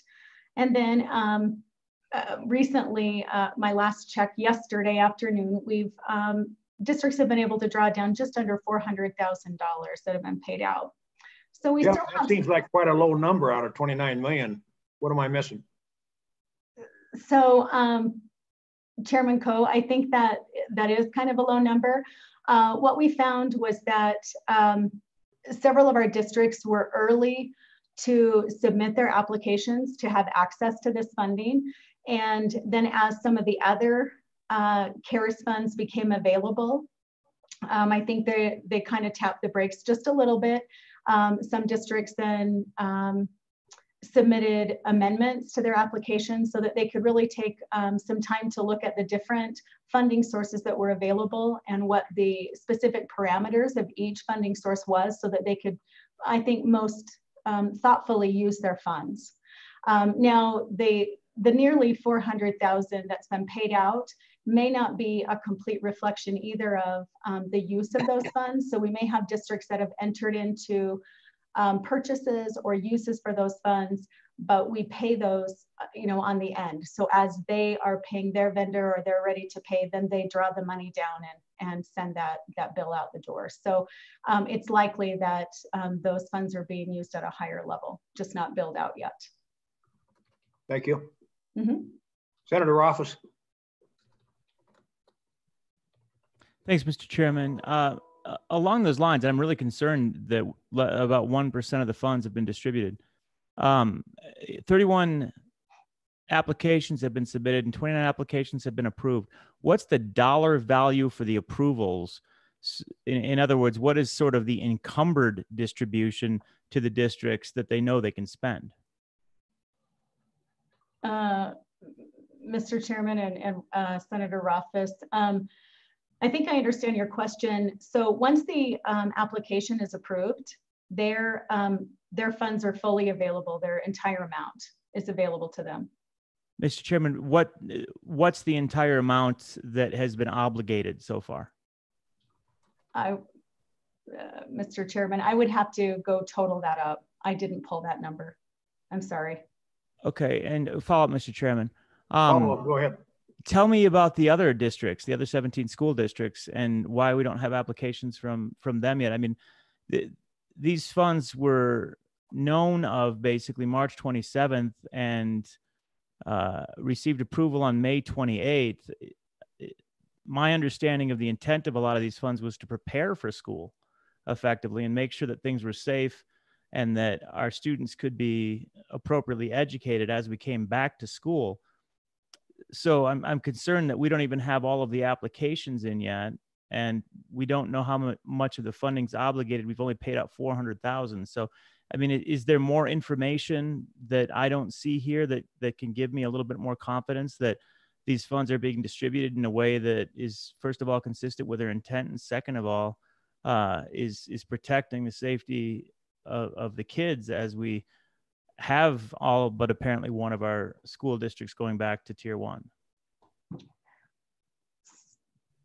Chairman Coe and Senator Rothfuss, yes. Um, so I think what we're finding is there was um, maybe a not as smooth of a rollout with the different funding sources to support education.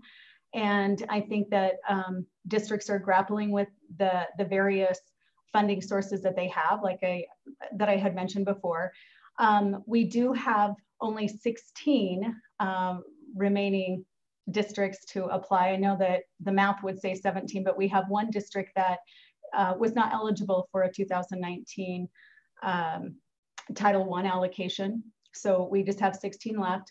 Uh, our team here at the WD has been in close uh, coordination with each of those districts as they uh, work through getting that application submitted.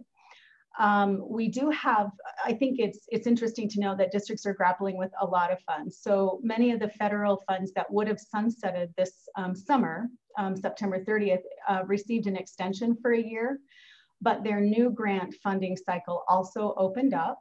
And so they have a variety of um, funds that they're trying to utilize first in, first out, and ensure that they're using those, I think, appropriately. Um, I think that we're seeing uh, what we've seen with the amendments that have come in um, are reflective of maybe the um, the little bit of a bumpy or the um, the way that the funds were rolled out. The ESSER funds were, were the first grant to open, but um, slide the next slide will talk about some of the CARES funds uh, one of those um, funds was uh, part of the governor's 1.5 uh, billion, uh, 1.25 billion that he identified for um, technology and distant learning support so we had several districts that right away submitted their applications with an intent to use their funds for that allowable expense. And then when um, that work with WASA and, and um, the governor's office came to fruition and they realized that those uh, needs would be met with that other funding source, they then went in and changed. So I think there's a lot of mm-hmm. um, just very intentional planning. Um, there also, I think districts have the same team to um, complete those grant applications that are also completing their new consolidated grant application that is due by the end of this month. So I think there's a lot on their plates as they're working through. Okay, quick follow up, Mr. Chairman. Follow uh, up. along those lines, did I understand you to say that the December 30th timeline does not apply to the ESSER grants? Uh, Senator Rothfuss, could you um, explain to me the December 30th timeline? Uh, most of the CARES Act funding uh, goes away on December 30th. Most of the stuff that I have worked with, uh, particularly on the Minerals Committee for Economic Development.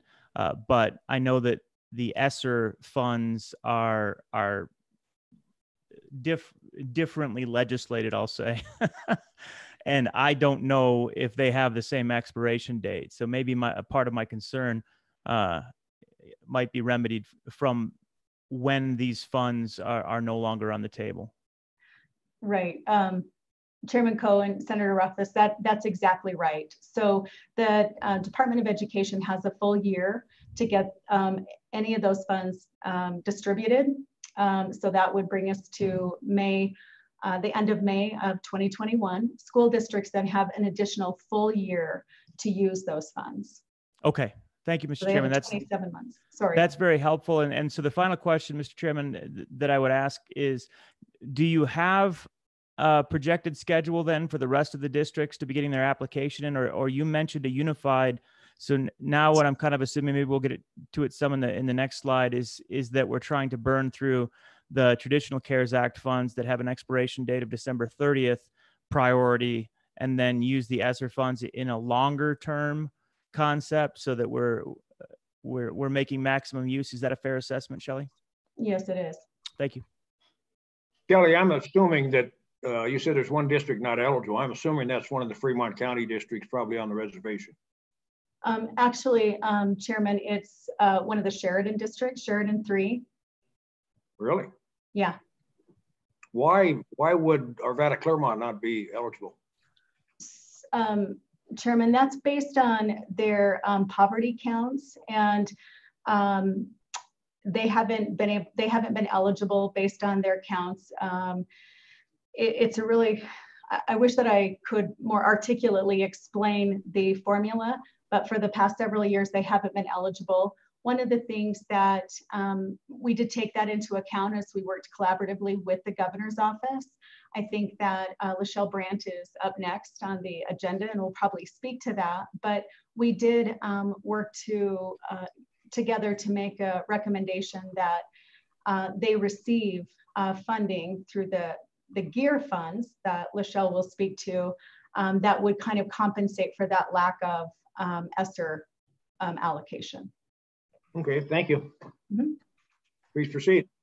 Mr. Chairman? Representative Connolly.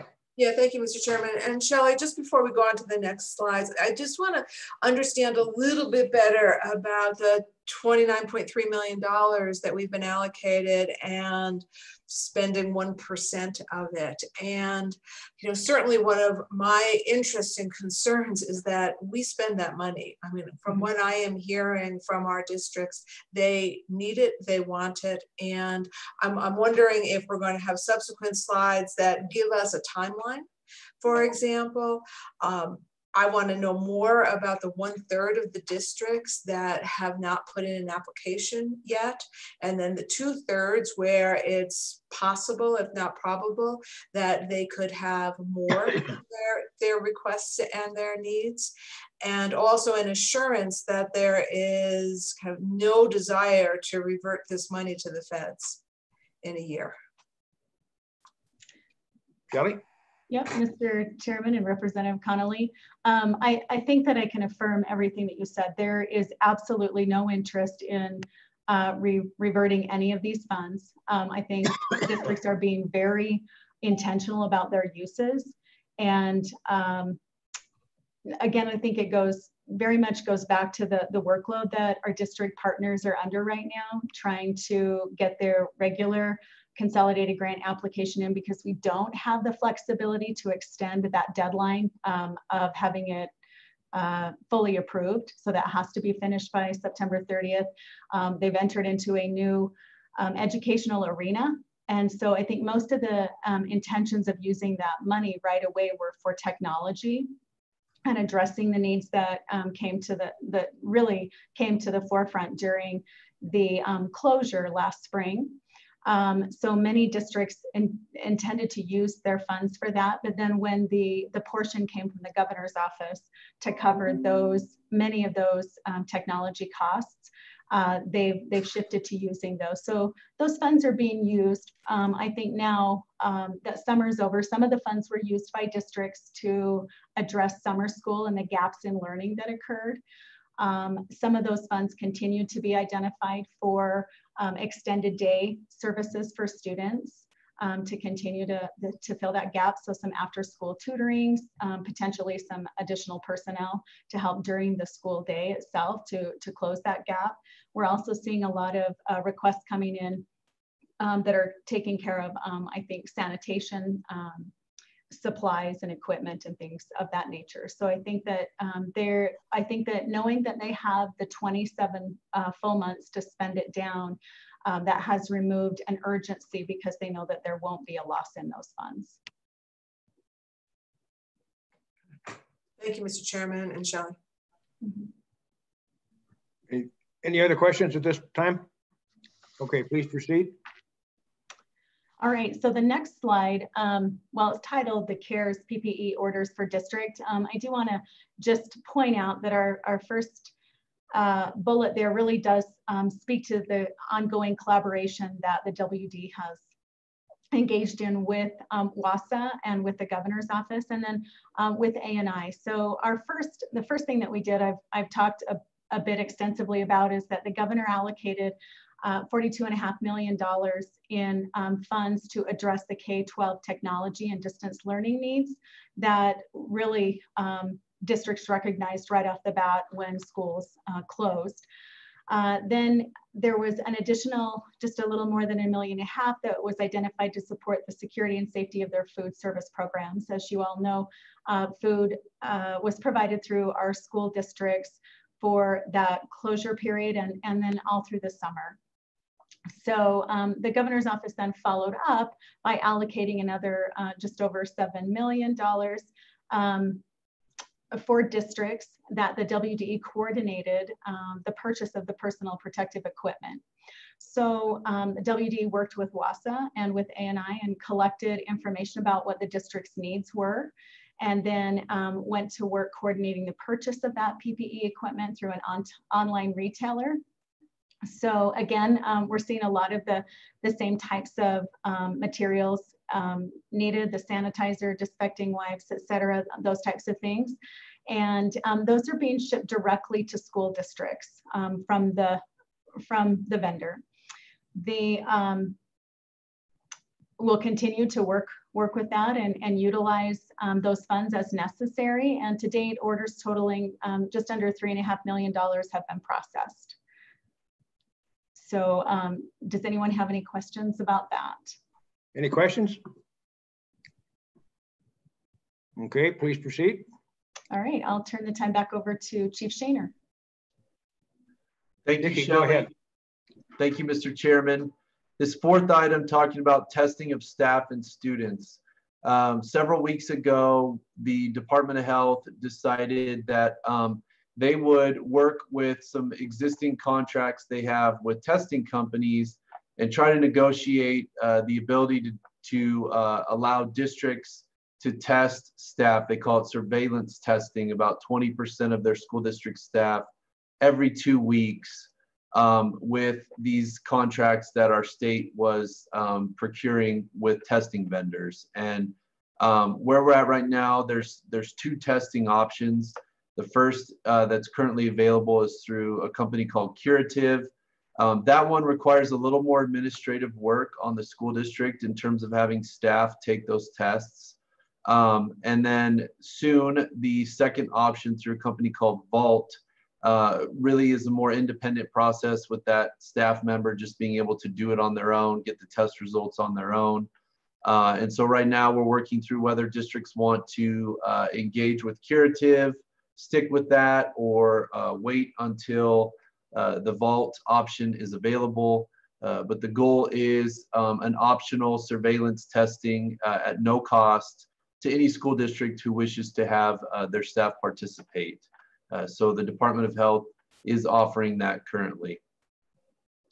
And then this last week, we received word from the White House. Superintendent Balow got a call from uh, the United States Deputy Secretary of Education, uh, and then was looped into a call with um, the Deputy Director for White House uh, Logistics for COVID. And uh, they wanted to uh, announce, which President Trump subsequently announced as well, that uh, Abbott Labs has come up with these rapid tests for COVID. And the federal government will have uh, 150 million here in the next week or two that they want to start distributing to states. And one of the the goals of that was to get it to school districts again to test staff and possibly even students if the school district wanted to uh, engage in student testing. And as uh, I understand of today, they have decided that uh, HHS, the federal agency, will now be working with governor's offices across states to try to disseminate these uh, tests uh, in a way that makes sense for each state. So we wanted to update you on that in terms of all the testing options that are currently available uh, and those that might be coming. And uh, with that, Mr. Chairman, that's all we have on our PowerPoint and, and happy to answer any questions related to any of those items. Senator Rothfuss, questions of Dickie and uh, Shelley on the presentation. Go ahead, Senator Rothfuss. Thank you, Mr. Chairman. Uh, on the timeline for the vault testing, it, it, looked like that wouldn't be available for six more weeks. Uh, what's the concern with the timeline there? Why is it taking so long? Who wants to answer that, Dickie or? Probably Dickie. There we go. Sorry. Um, thank you, Mr. Chairman, through you, Senator Rothfuss.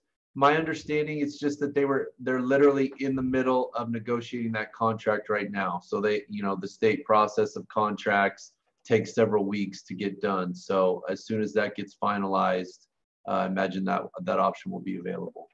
Mr. Chairman, could, uh, Dickie, could you leverage the university's contract and, and work through that on a temporary basis?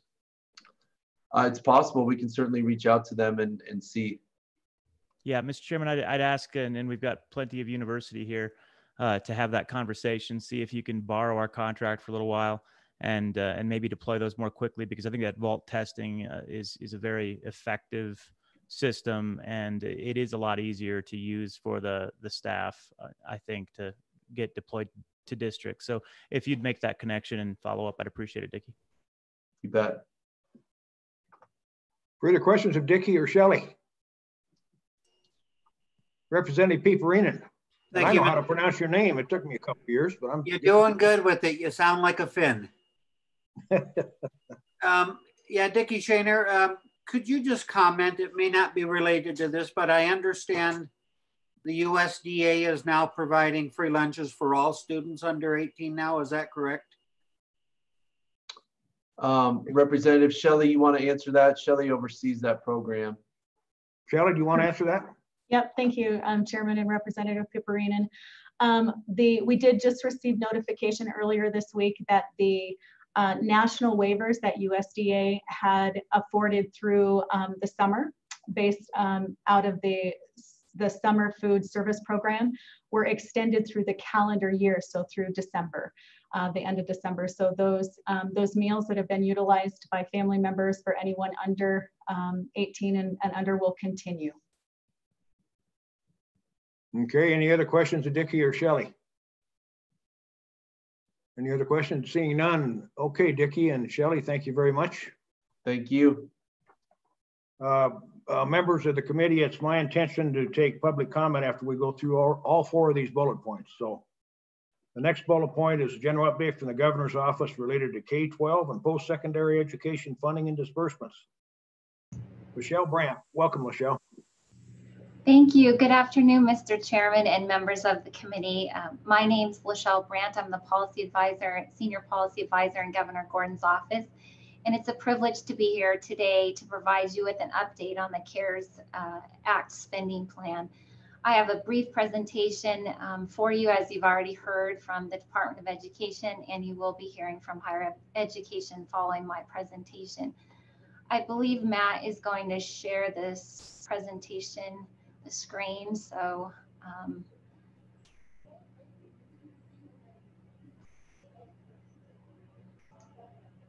Yep, we've got it.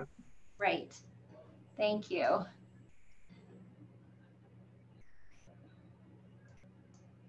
Sorry, I'm just getting my screen organized here.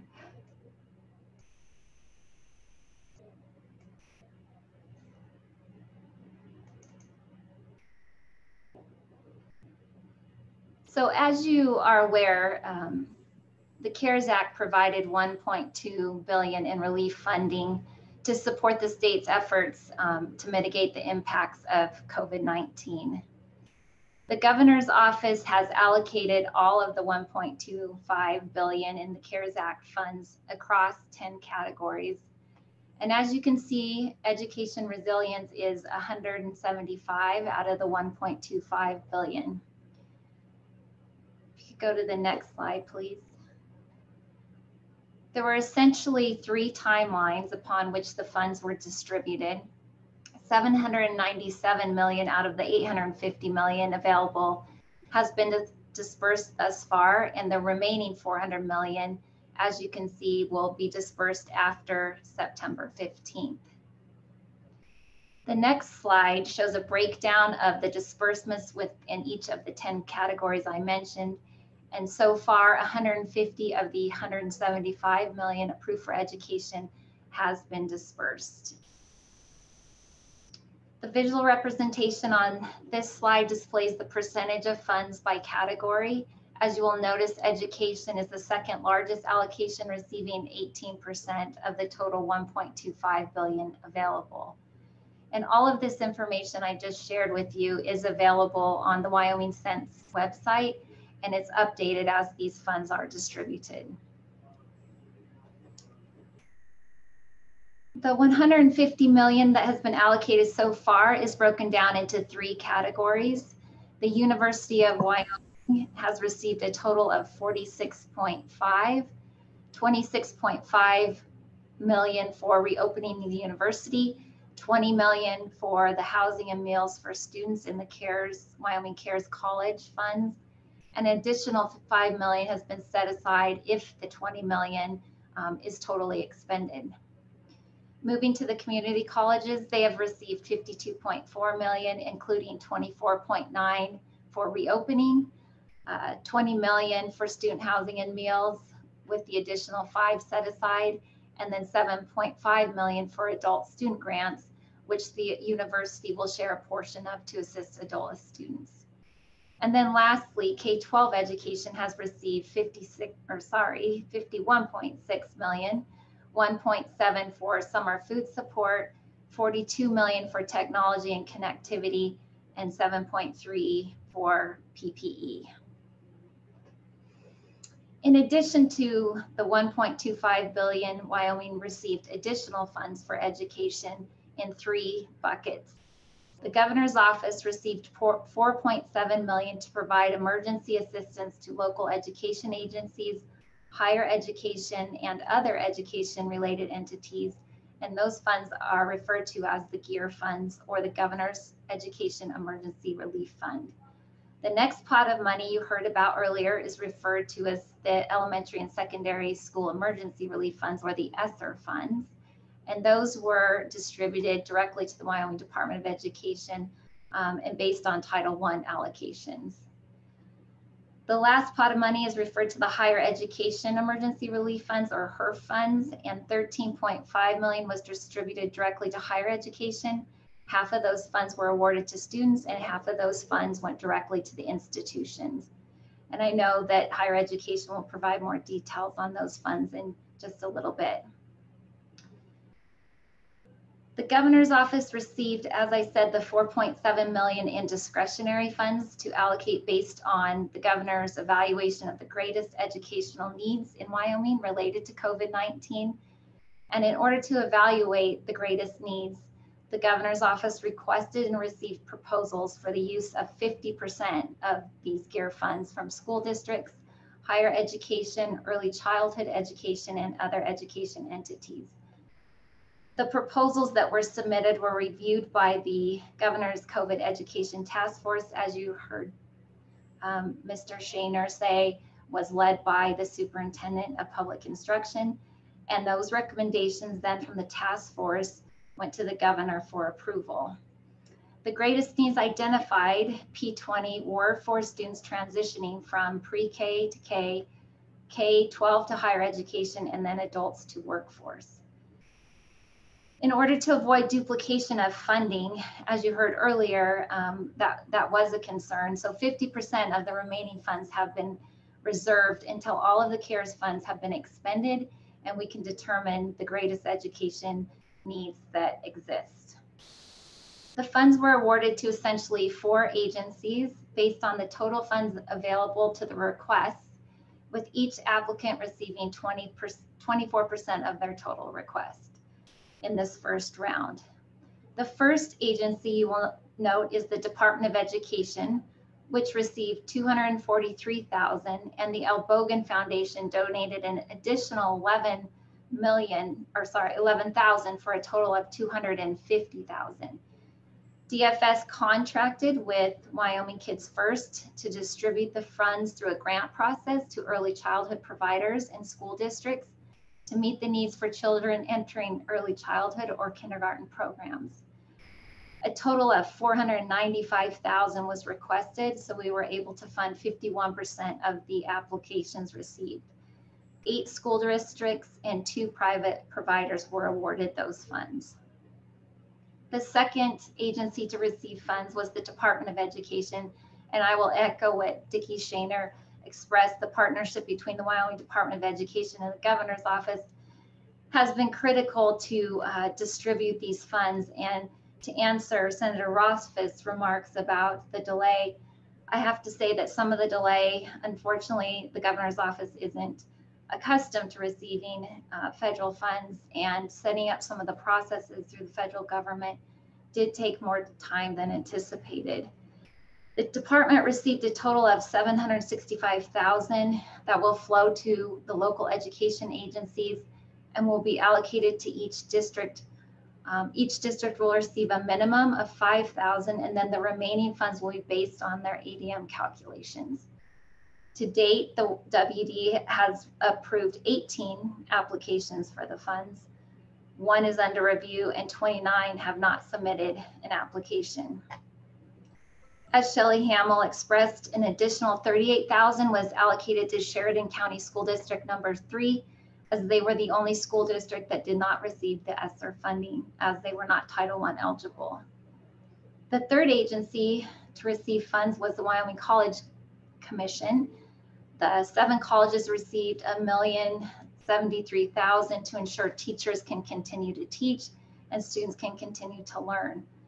They also received flow through funds um, for the Carbon County Higher Education Center in the amount of 11,000 to assist students to complete welding and CNA programs that were disrupted due to COVID-19. Additional funds were given to the commission for adult education providers that sit at the seven community colleges, one BOCES, and uh, one Department of Corrections facility those funds will be targeted for the equipment, supplies, professional development, and increased instructional hours needed to achieve both federal and state goals for adult education. Next, the Wyoming Department of Health uh, received flow-through funds that will go to the Wyoming Behavioral Institute in the amount of 82,500 for improved technology and content learning management systems. And lastly, the Department of Workforce Services received 64,841 to partner with the Array School of Technology and Design to assist with an apprenticeship program for students whose program was disrupt, disrupted due to COVID-19 and to offer some additional hands-on experience necessary before graduation. These students will be assisting the Wyoming Technology Coronavirus Coalition, or WTCC, that was recently formed to work on technology solutions for fighting COVID 19. The students will be assigned to companies that have suffered hardships to provide them an increased workforce without burdening them with hope that they will recover enough to employ the students when the apprenticeships end. There are five companies they will be assigned to, which include Visit Cheyenne, which that project is aug, aug, augmented reality and virtual reality applications to increase tourism. Flow state solutions that will be to develop the technology to use artificial intelligence to detect oil leaks. The Wyoming Association of Mental Health and Substance Abuse um, to develop an app for remote patient monitoring Dubois's economic development arm Drive, and lastly, the Arapaho Nation um, to develop an application for transferring content to a cloud-based system to preserve the Arapaho language. Um, an internship through workforce services will cover the majority of the wages and the grant will cover the remaining gap. And with that, Mr. Chairman, that concludes my presentation and I would stand for any questions. Okay, questions of Michelle? Are there any questions? Seeing no questions. Michelle, thank you very much. I appreciate your presentation. Thank you, Mr. Chairman. Anybody on the committee have a problem if we get done early?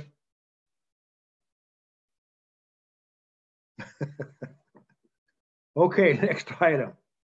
Updates from the university. I see, I see there's Tara Evans. I see President Seidel. We've got uh, President Seidel, Tammy Benham, Deal, Kimberly Chest, Chestnut, and Tara Evans. Please proceed. Thank you, Mr. Chairman. Uh, I'm Ed Seidel. I'm the new president of the University of Wyoming, and I'm uh, pleased to report to you today. I, am also honored to be in this new role for me, and uh, I've gotten to know a few of you, but I look forward to getting to know you much better in the coming months. I think before I, I, dive in, I wanted to just do a little further introduction for, to my team here. So as you uh, as you uh, announced a little bit, um, we have Vice Provost uh, Tammy Benham Deal here. We have uh, General Counsel Tara Evans. We have the Director for Government Affairs, um, Alex Keene. We have Vice President for Student Affairs, um, Kim Chestnut, and we have Professor Brant Schumaker, who will, I think, all help us make this presentation to you today. Can we have the first slide uh, from Matt, please?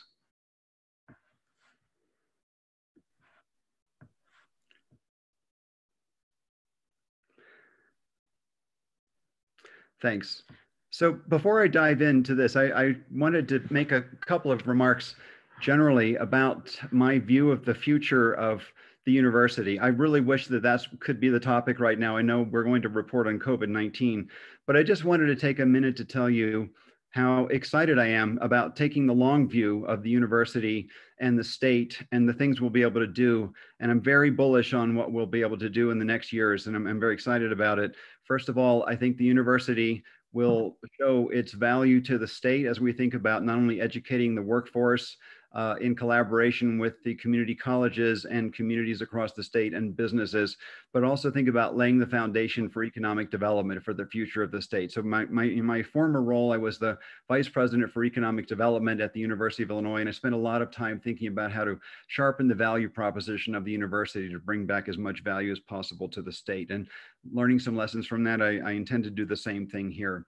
Another point I wanted to make is we've begun to really already plan for the future of the university. And we are thinking a lot about how to build it as the best in class uh, land grant university for the 21st century that is true to the roots of Wyoming. And there's a lot packed in there. I won't go into all of that right now, but there are a few things that I think you can you can hear in that. First of all, that we take the land grant mission really seriously. That is how we bring back value to the state, whether it's educating the workforce or working on developing the, laying the foundation for the future economy of the state. That's very important for us, while also uh, supporting the existing economy market sectors.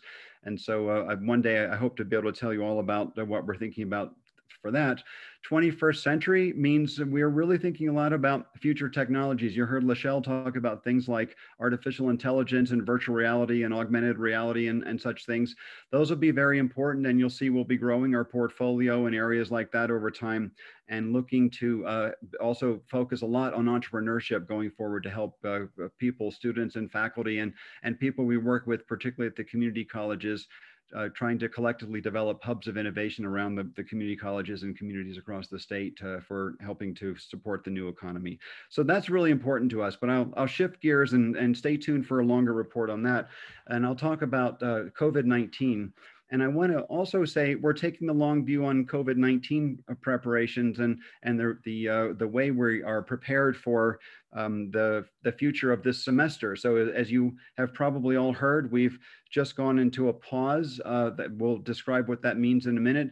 But that is because we are very well prepared for uh, the future of this semester so that we can remain open. And that is the main message I want to tell you is that we are we have put in many science-based programs and potential interventions will be very nimble going forward as we think about uh, assessing the situation when we see how many cases we have, when we see how they're being spread, and, and we'll have a report from Brant a little bit later on that.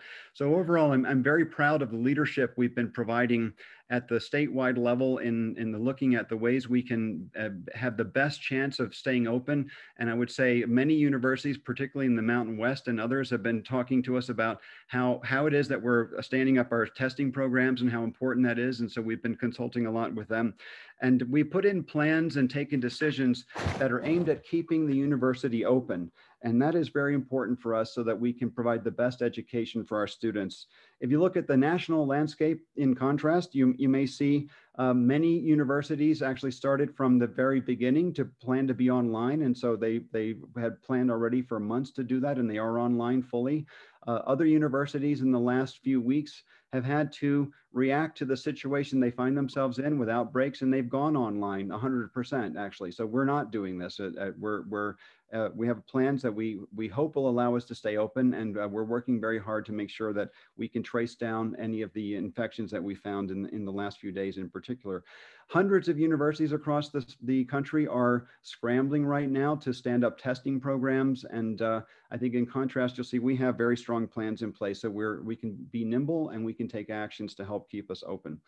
So um, we're currently in a pause, and uh, uh, you will hear more about this going forward. But what that means is we detected a number of cases in the last days, and as according to our plan that was approved by the Board of Trustees, we it, when we hit certain thresholds, we go into a pause, which means we continue classes, people stay on campus, but we go into precautionary mode so that we can limit the spread of infections and try to trace down where they've come from and isolate students who may have been exposed so that we can then uh, get back to a state where we're actually open. And so we'll make a decision later next week by Wednesday uh, and Thursday would be the first day that we would be able to, to go back into a, a, an open mode that is in terms of being uh, having in-person classes. So we'll, we'll hear about more about that in a minute, but, but let me tell you about this phased opening plan. So again, about uh, a month ago, maybe three or four weeks ago now, uh, we were in a situation where we had been planning to open as scheduled uh, on August the 24th. Uh, but we realized that we were not able to get all of the testing equipment in place that we needed in order to test everyone on campus. And the best recommendations, according to the science and the epidemiologists that have been studying this, are that you should test everyone on the campus one or two times per week. That's thousands of tests per day. Uh, and so uh, we we are having trouble with the supply chain. We've ordered the equipment month, uh, weeks and weeks ago, but it's slow to be delivered. So we decided to then go into a phased in approach where every student who's on campus as of August 24th would be a, a welcome to stay on campus. Uh, classes, except in a couple of very small cases, were are online, but students are actually in the, the dormitories and in a, a university housing. Uh, but but then uh, our staff would would work remotely where possible. Uh, we also have implemented a, what we call a bridge testing program that you'll hear more about in, the, in a, a few minutes, but it's a, a, program where students are tested uh, and, and so are staff and faculty roughly once per week as we go forward, uh, in, but with a limited um, number of people on the campus. Um, starting uh, next week, we will go into phase two, where more students will be welcomed back to the campus, including primarily uh, freshmen and first year students. Uh, the bridge testing program will continue. And then finally, by phase three, which is September the 28th, our plans are to have everyone fully back on campus and we'll have the, the full semester up and running, assuming we uh, are able to take interventions that bring us out of the pause that we're currently in.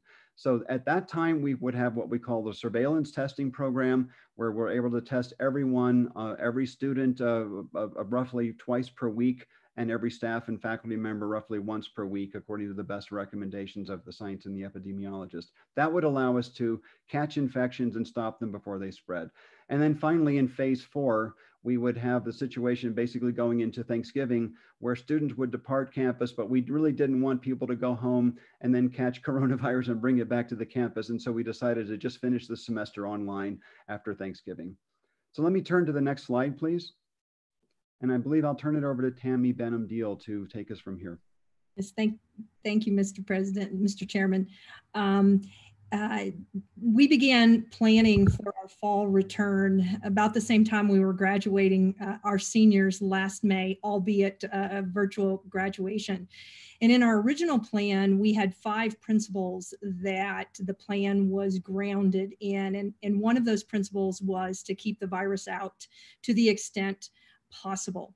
And as a consequence of that principle, we uh, initiated a pre return uh, testing program that all students and all employees uh, would complete. You've heard earlier about the VAULT test. That is the test that we utilized for that pre return plan.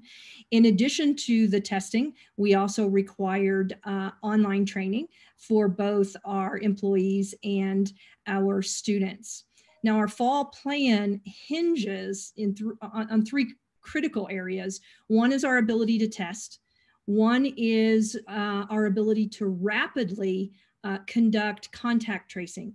And the third area is our ability to quarantine and isolate those who are ill or who have been uh, exposed. And we've been uh, really focusing on creating an environment that helps us to achieve those uh, key, uh, key elements.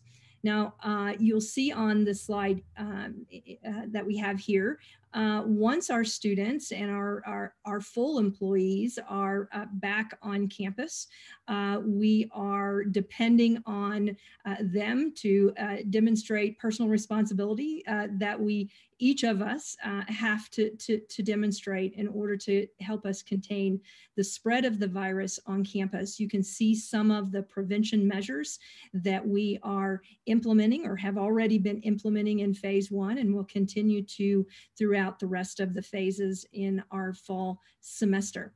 Uh, part of uh, the uh, prevention uh, uh, measures we're taking is we're asking all of our employees and our students to conduct daily temperature uh, and symptom checks. They do that with something called the COVID Pass tool. It's sometimes called an app, but it's not really an app. It's actually a mobile friendly website.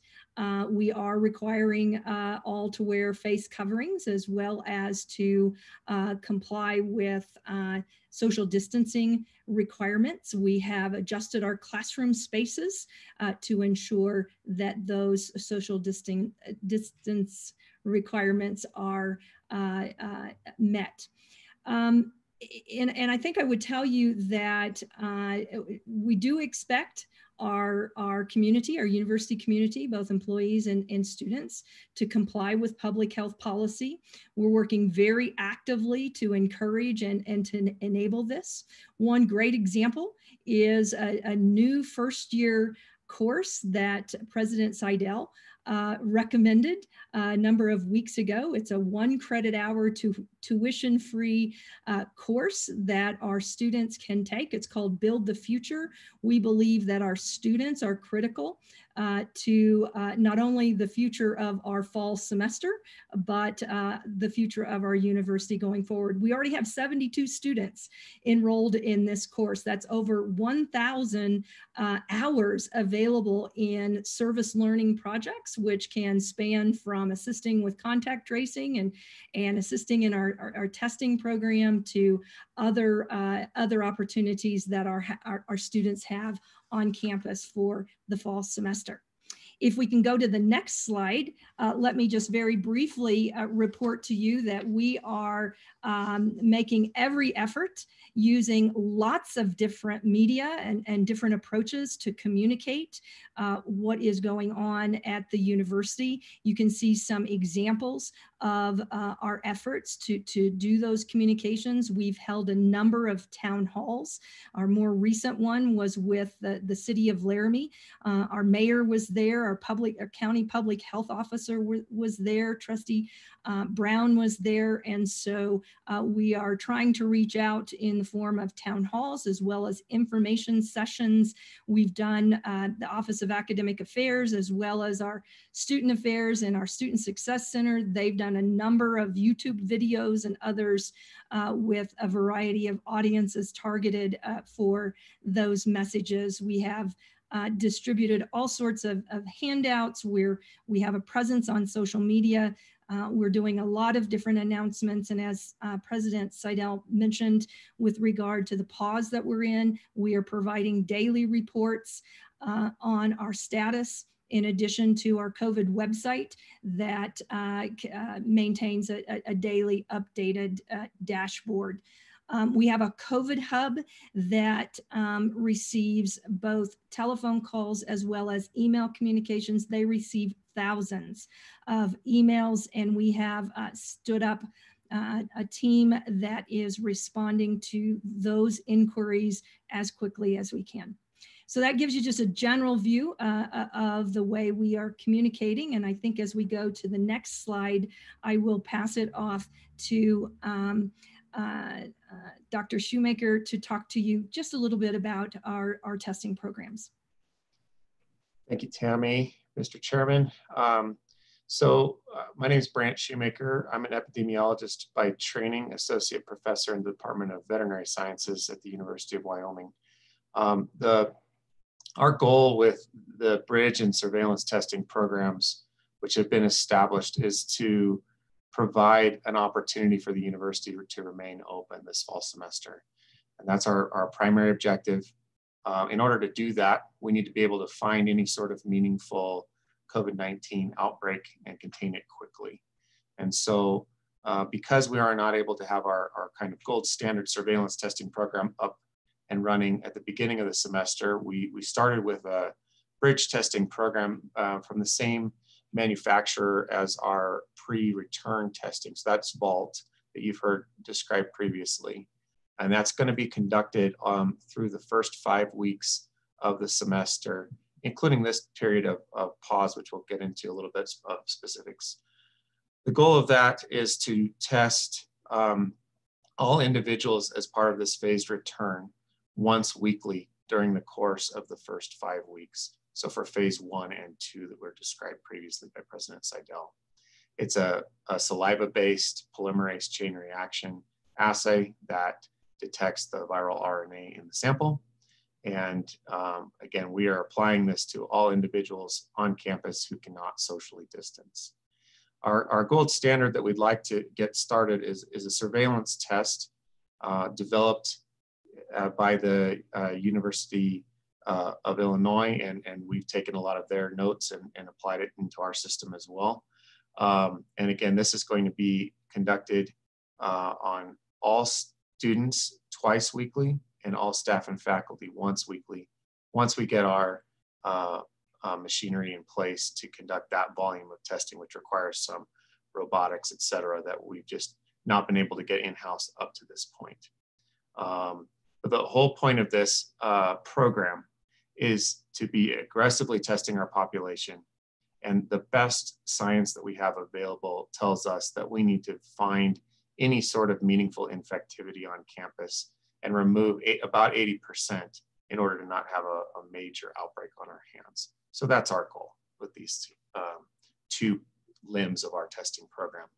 Perhaps I'll, I'll stop there if it won't disrupt our flow too much and ask if there's any questions about our testing program before we kind of get into some of what we've seen with our um, current cases. Any questions Brant? Any questions? Mr. Chairman? Let's see, who is that? You got enough people on here. It's Representative Brown. Oh, Representative Brown down there. Uh, thank you, Mr. Chairman. Um, just a quick question for you. How are you planning on doing this? Is this going to be like a, students come voluntarily, walk in to a couple of different clinics throughout the the uh, campus? Is this going to be, you know, one clinic or you know one area that they're they're going to be sitting there waiting for hours? Can you kind of give me an idea of what this testing is going to look like? Absolutely, Mr. Chairman, Representative Brown. Um, this is uh, right now is being conducted in one location, but we're using a, a, Microsoft Bookings app that is allowing us to schedule appointments, uh, 10 minute appointments, and have individuals arrive. I did my test on Tuesday. Uh, there was no wait. I was able to be seen right away. Uh, the stations are in uh, right now are in the basement of our uh, Wyoming Union. And um, you're six feet apart with, uh, you know, socially distanced staff members to help you um, in and out of there in, in 10 minutes. And so it worked out really slick. The volume of saliva required for the vault test is significantly more than what would be required for the surveillance test. So we actually only estimate individuals having to be in a, in a sampling location, which would be actually at multiple locations across campus for the, the sampling uh, surveillance testing. Uh, but we only estimate individuals having to be there for three to five minutes max. So it, it's, it's a really um, actually impressive effort that uh, our Dean of Health Sciences, David Jones, has been leading, and, and they're doing a great job on keeping no real lines in place and getting this volume of sampling done. One last follow up, Mr. Chairman, if I may. Oh, go ahead.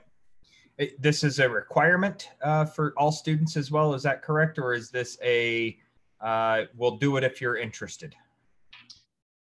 Uh, Mr. Chairman, Representative Brown, that this is actually something that we are requiring of um, individuals that are on campus during this time for both staff, faculty, and students in order to keep us open.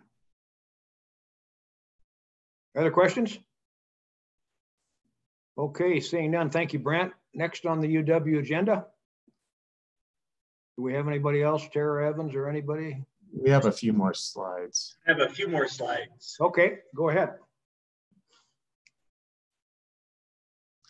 Okay, so um, prior to um, the semester beginning, a, large collaborative team of individuals, um, including UW Board of Trustee member John McKinley, State Health Officer Alexia Harrist, Ivinson Memorial Hospital CEO Doug Faust, Albany County Health Officer Gene Elias, Albany County School District Number One Superintendent Jubal Yennie, as well as many others uh, from among the university campus, uh, participated in a process to identify uh, items to monitor to detect if we had any sort of a problem going on. Again, so that we can adapt and react quickly in order to maintain our continuity of operations at the university and stay open for our semester.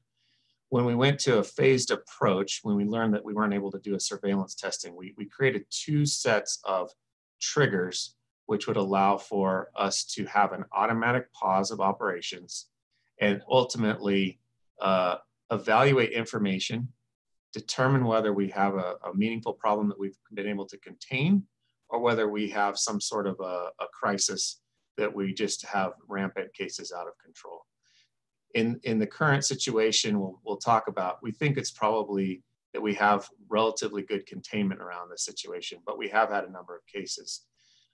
Basically, what's going on right now is that we have taken an automatic pause uh, because we have seen over uh, the course of, of the last few days a, a number of cases, and I'll get into that in the next slide. But the, the point of the pause is to shift to remote work for employees, online courses, and then requiring students to, uh, where possible, shelter in residence halls and residences uh, in the event that we have these sorts of situations occurring. Now, the pause doesn't mean that individuals can't go outside, um, that they can't attend uh, religious services or anything like that. So we're still allowing for individuals to go to work, to conduct business, to go outside uh, individual outdoor activities, um, seek you know, medical care and testing, and go to religious services. It just means that we are, are promoting the idea that we've got a situation on our hands.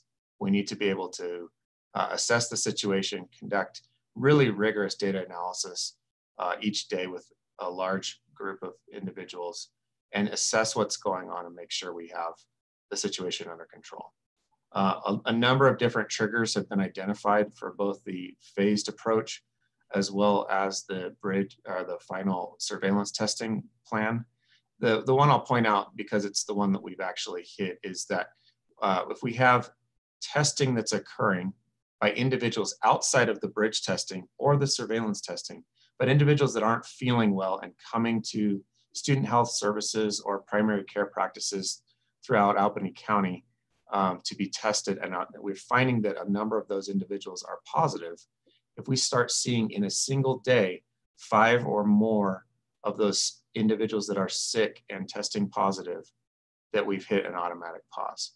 The reason we, we feel that's important is that if we have uh, symptomatic individuals that are testing positive, they likely represent the tip of an iceberg of an outbreak because with this age bracket, we expect that many more individuals would be asymptomatic and, and still able to transmit the virus, but we're only finding the symptomatic individuals during this period of time. Um, again, you, we have a really detailed triggers document that we can share and is available on our website. And I'd like to just stop there and see if any uh, anybody has any questions about this slide before I move on. Okay, any questions? Any questions? Okay, please proceed, Brent. Thank you. Please, next slide. So over the last weekend, um, we had reports of multiple large uh, off-campus gatherings of students. Uh, resulted in many contacts uh, and, and, a lot of cases associated with these outbreaks. Um, so during this period of time, um, we've had to uh, ha have over 70 uh, individuals in quarantine or isolation. Um, we currently have 30 active cases. Greater than 50% of those were symptomatic. And that includes 93 cumulative cases since the tracking began.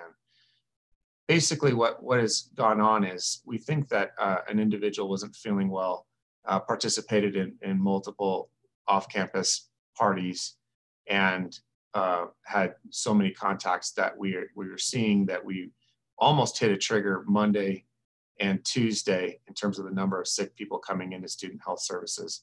And then yesterday we had reports of seven new symptomatic cases on the University of Wyoming campus.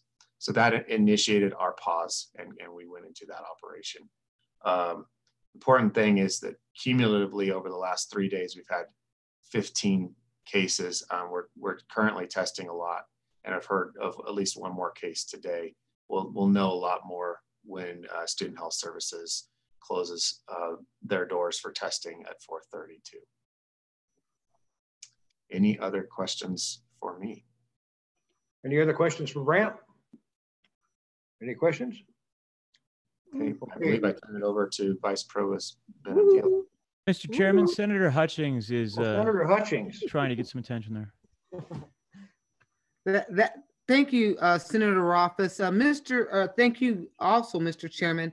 This question is for Brant.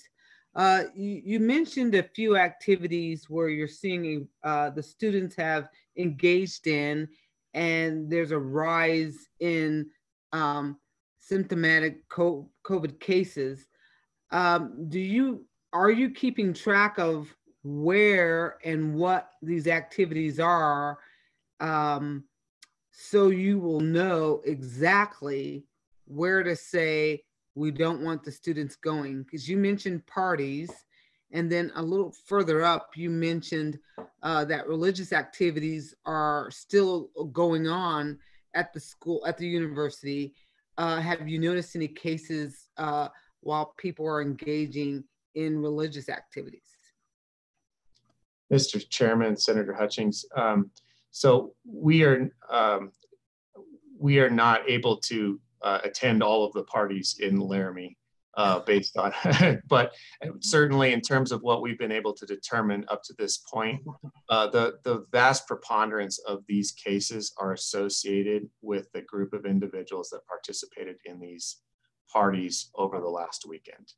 Um, we are unaware of any cases associated with religious gatherings, um, but we do, you know, go through a pretty extensive contact tracing process to identify locations of where cases have been, as well as lists of names of first degree contacts. So individuals that had had a prolonged exposure to any of our cases. To this point, uh, one thing that gives us encouraging news is that we, we feel that all of these cases in general are tied to these large campus gatherings.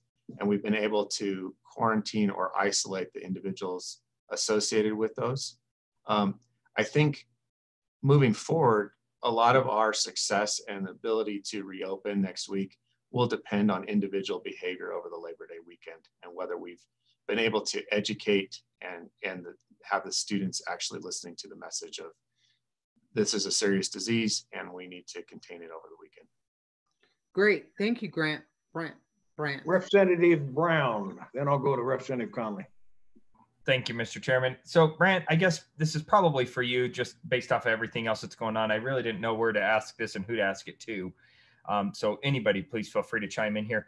Is there any reason why a student with um, any symptoms or any question at all that uh, wished to be tested would not have been able to be tested by the university or would have been turned away um, for any reason at all. And the reason I ask this is I, am trying to get to the bottom of a, of a particular situation that I've become aware of where a student had not paid a $395 uh, fee to the university. And when that fee was not paid, um, the student was turned away and was told you cannot be tested. And so I, am getting one side of the story. So trust me, I, I'm completely understanding of that. I'm just trying to maybe get another reasoning as to why that may have happened or if there is um, if there's reasoning behind why we wouldn't why we would not be testing uh, students. Uh, Vice President Chestnut looks like she's ready to answer that question. Sure. So Representative Brown, Mr. Chairman, I can offer a little clarity on that. So each semester, students have essentially a portfolio of fees, some of which are elective and some of which are required. What I can tell you is this semester, we had more students who are all online than ever before. Students who are all online are not required to pay the consolidated student fee, which incorporates coverage at student health services. And so usually our students who live on campus and have at least one in-person course would automatically have that part of their services for the semester. So for students who arrive now at student health who may not have paid that fee, we'll be kind of checked in and we'll say, oh, we see that you're not currently enrolled in the consolidated student fee program. Everybody's eligible for that. You can do so immediately if you'd like. And then the student has the option if they want to do that. So in short, yes, a student could have been turned away, but not without options. We would have said, would you like to consider joining and, and having this care provided ongoing? If you if you don't, we can absolutely refer you to a community partner. Um, if you have a if you want to do a fee payment plan, we can arrange a payment plan. But in short, there there is a cost associated with care, and that's covered by that fee. So does that help answer that, Representative Brown? It certainly does. Thank you, uh, and Mr. Chairman. If I can have a follow up on that. Follow up. I, I would like to question, I guess, maybe a little bit here. I, I'm I, I understand the necessity, and there is absolutely a cost to care. However, I'm also aware that the legislature, as well as the governor's office, has appropriated millions of dollars to the university for COVID related expenses. And I'll be honest with you, and, I'm, I'm looking here directly at the, at the president and everybody else that's associated with the university.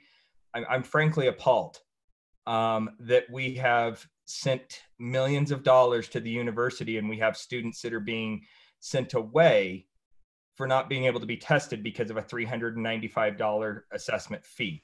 Now, I can understand all the other associated health issues uh, that go along with this, but when we have sent COVID money over to the university, um, I would expect that students would be able to be tested. Uh, you're requiring it to be a test to be on campus and now we're telling them if you don't pay this fee you're not going to be able to get this um, I, i'm i'm a little troubled and i'm i'm i'm really hoping that maybe i understand where you're coming from that there's a, a necessity of charging for care but when it comes to covid there has been plenty of money sent over there to make sure that the uh, reduced amount of students over there can be taken care of and I'll offer first and then others can. So Representative Brown, Mr. Chairman, I really appreciate you bringing this to our attention and have no hesitation in pursuing looking into that. I will tell you, it is a rare occasion, and maybe to your point, today's my first day. Not your not your commentary today, but this morning is the first day I have heard that we haven't been able to provide care for a student. Um, and so I'm I'm also invested in ensuring that we provide care comprehensively and I think I care about that whether we had CARES funds or not, right? We we work really hard to ensure that we take care of our population, and so I promise that I can further investigate and work with our team accordingly to do so. And I see that President Seidel also wanted to offer regards.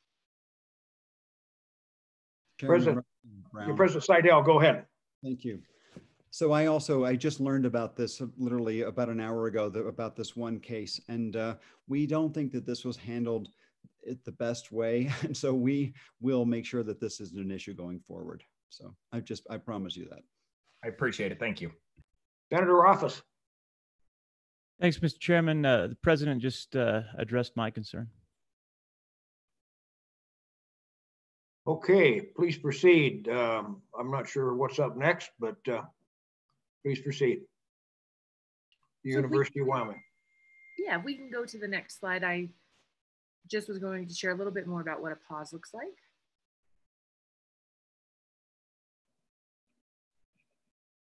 So this is just a brief review for the group and certainly things that we have communicated to our campus community.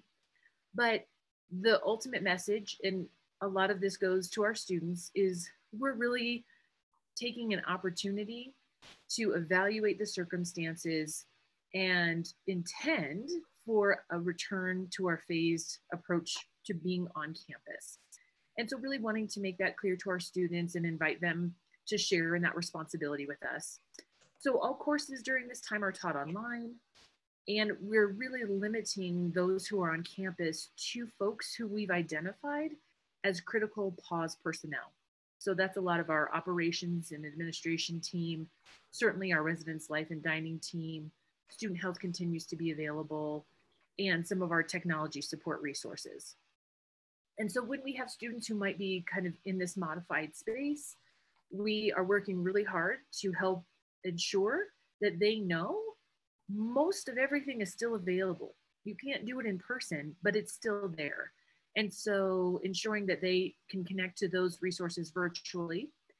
We have had um, many conversations about the student fees that exist across the semester. So we just had a brief conversation about one, but there are multiple. And so we've actually written a proposal that will be shared with our Board of Trustees at their meeting later this month. I would offer that athletics seems to be one of the points of interest when it comes to fees. And knowing that our fall sports had to be notably abbreviated, that would be the primary fee that would be reduced.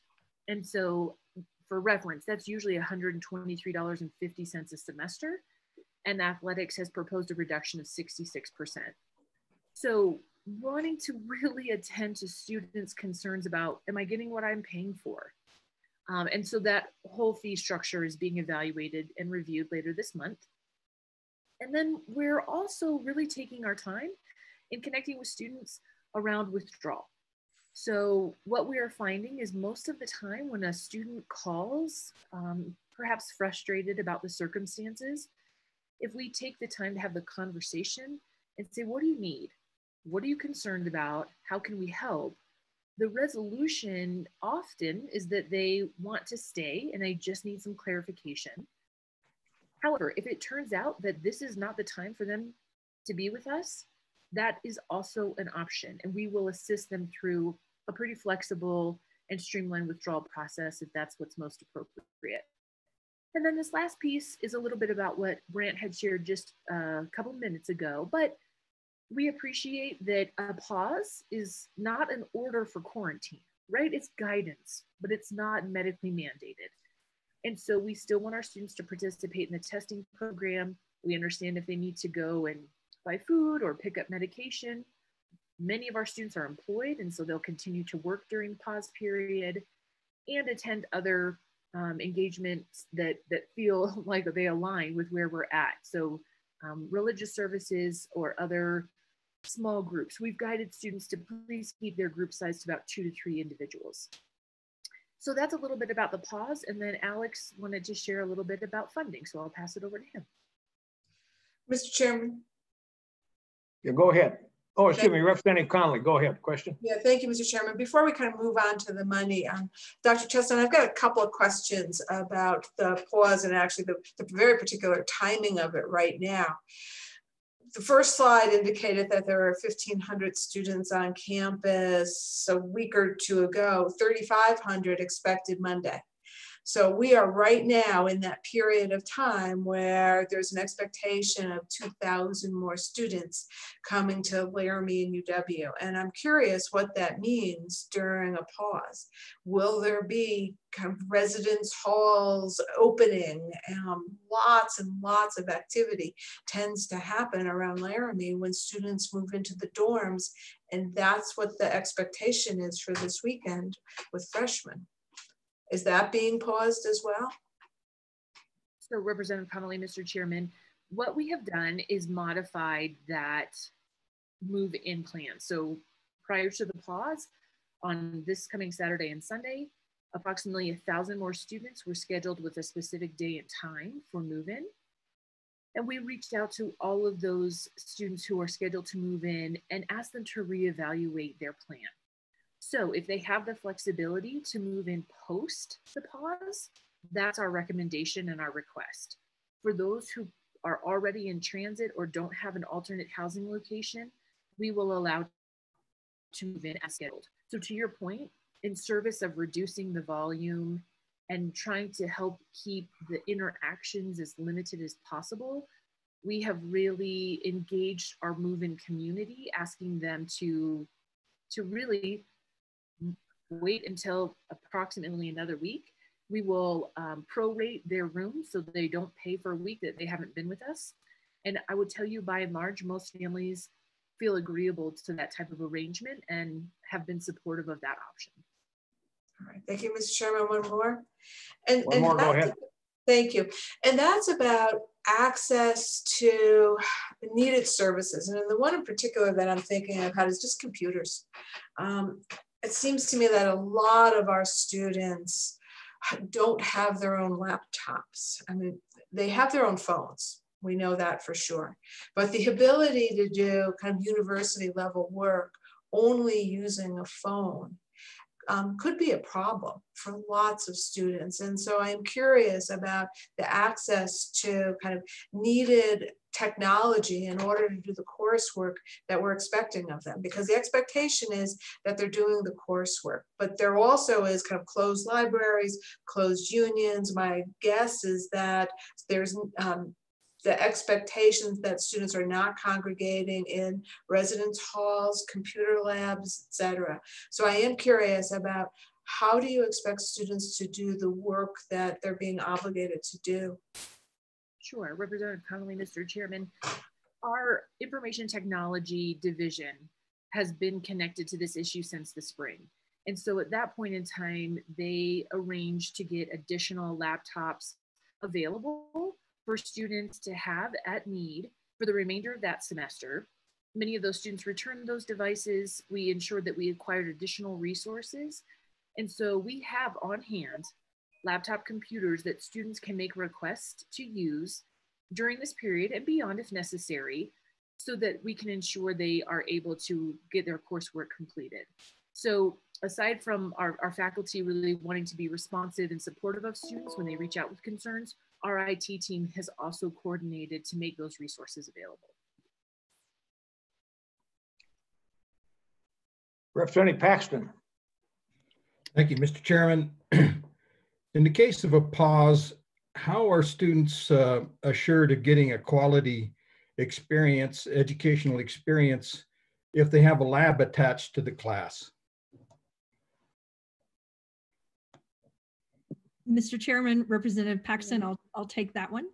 Um, uh, our faculty, unlike uh, where we were last March, where we had to pivot very quickly, we were reactive to that particular uh, uh, scenario, and faculty scrambled, quite frankly, uh, to, to have experiences put online to complete the semester.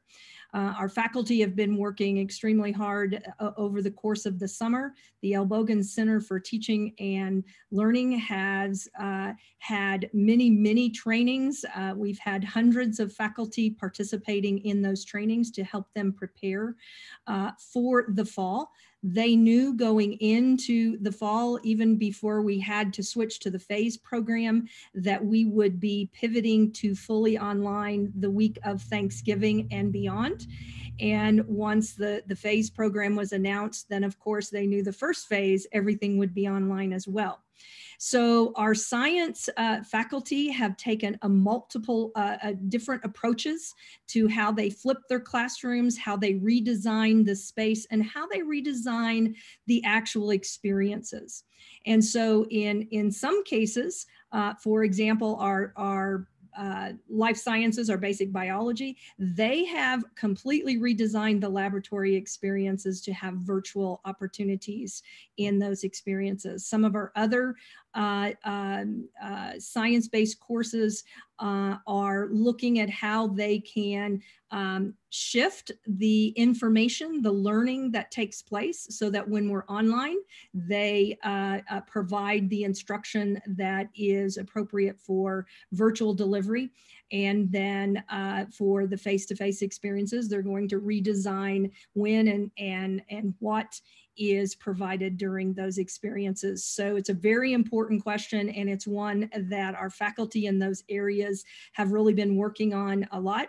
In our College of Engineering, of course, uh, they have a number of face-to-face kinds of experiences as well, and, and they are utilizing all sorts of technologies uh, to ensure that the student uh, students learn and, and develop the skills they need for uh, for those purposes. And it's not just in our sciences, in our performing arts and others that are are very uh, you know very face to face oriented. They are doing uh, many uh, really creative and innovative sorts of experiences during the times that students are learning virtually.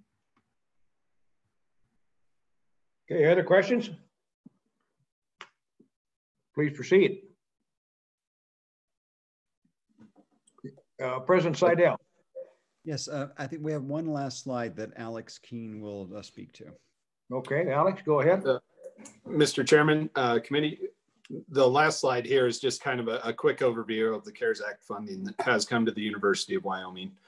um, this this matches the information provided earlier uh, by uh, Lachelle Brandt in the governor's office. But the 47.1 million is the direct COVID uh, relief funds from the 1.25 billion uh, through the governor's office. It's split uh, basically three ways. 26.5 million is uh, falls into to four buckets: our testing program, technology, our PPP, PPE and enhanced cleaning protocols, and then a pedagogical overhaul uh, bucket. Um, we're spending through those dollars at a, a, pretty good pace right now. The second big piece of that is the $20 million for the CARES Wyoming Grant Fund program. Um, we note here that 7,250 students have applied for those grants. Of that, 57% of those applicants are undergraduate Wyoming residents. And then the last piece is uh, 600,000 for the Trailblazer program, uh, the adult worker uh, program and we've had 479 individuals apply for that program at the university. Um, that that program is also at the community colleges, and um, we just have a portion of that Trailblazer program at the university. Uh, the second bucket, the university did receive 6.6 million uh, directly in the higher education emergency relief fund. 3.3 million of that went directly to students last spring. The remaining 3.3 million uh, is for institutional support um, we have not identified or earmarked where that 3.3 million will be distributed, but I uh, anticipate that that will be discussed at the trustees meeting in September.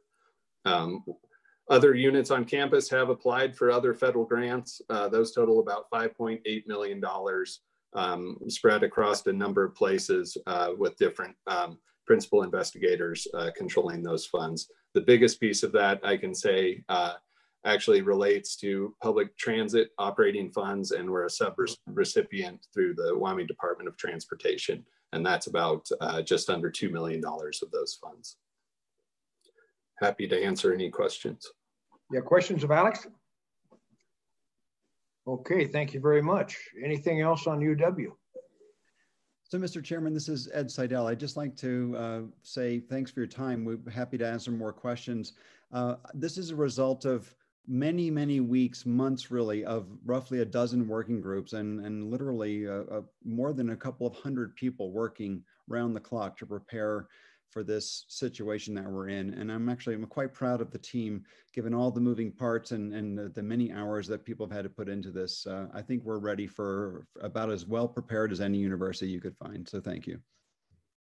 Thank you, President Seidel, for all you've done since you came here, which was maybe not the best time to come, but welcome. I'm happy Representative Brown.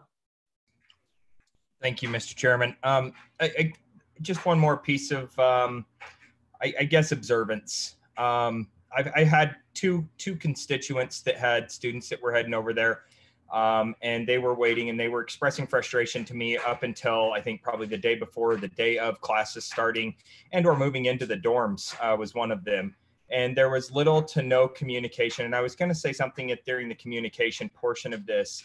Um, it, you know, I I just told them to kind of hold out, and things would things would come forward, and and they did. Um, so I, I do appreciate that you guys have a lot on your plates. There's a lot of moving parts and pieces going on here, so I, I respect that, and that's why I, I didn't intervene at the time. But Um, what I will say is the the the email that came out asking for money at the exact same time um, from the university, uh, optics on that were were a little rough um, for some of those people that sending their their students over the hill to pay um, pay their tuition and they're not getting the information that they need. Uh, but in the same exact breath, they're getting an email asking them to uh, continue to fund the university on top of their tuition and assistance. So uh, not much of a question, just a little bit of a, just kind of a something that the optics from the outside world, just 45 miles away, that you guys may not see. Um, that that most definitely some of my constituents did, and they made sure I was aware of it. Um, just to kind of give you guys an idea that sometimes you know asking for money right up front right at the beginning of a school year because we're all penny pinching is probably not the best idea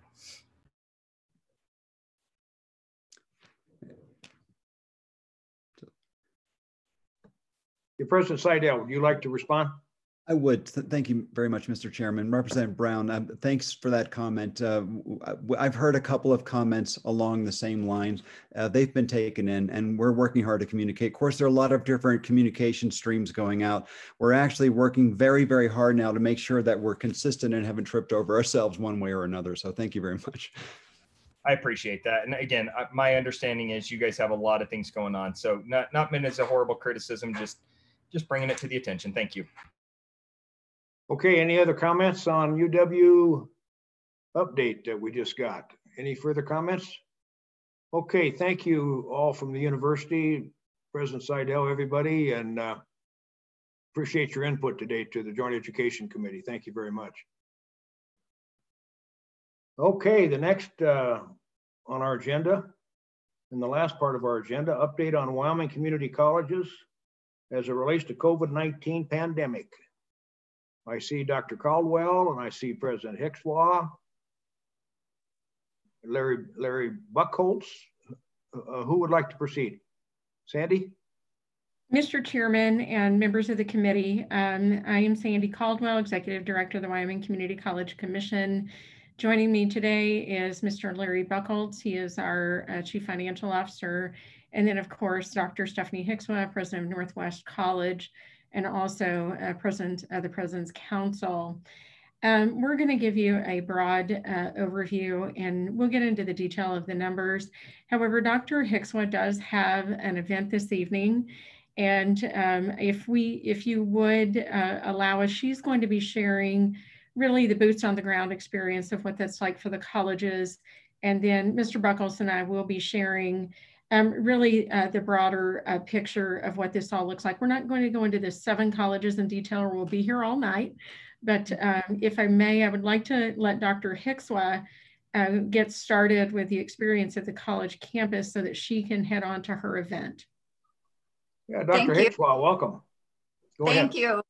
Thank you, Mr. Chair, members of the committee. Thank you, Dr. Caldwell. I am Stephanie Hicswa, and as Dr. Caldwell said, I'm the president of Northwest College and the president of the Wyoming Community College President's Council. All of our plans are a little bit different, but all of them are very similar to some of the components that UW just discussed. Because we each serve different communities, which have different populations coming to our campuses, our plans have had to be specific for our colleges. I too, like Dr. Seidel, am very appreciative of the around the clock work of my team. And as Dickie Shaner mentioned earlier, we could not have done this without our partnership with public health, our local hospital, and our state partners. Along the lines of testing, I, I wanted to let you know that Northwest College decided rather to go with testing on campus because we do not have a health service. We partnered with public health, and public health in the hospital is performing that for us. It's working very well. We have had one case since the college opened that was reported to me late on Monday night, and we've taken care of that and offered the support services that were needed we have procedures in place, much like what UW described. It's based on a board approved plan. Northwest College is operating in tier two, as was described by Mr. Shaner. What that means is that our college is operating in a hybrid model. Some components of our campus are open and some components of our campus are being delivered virtually. We are delivering our coursework in three different modalities.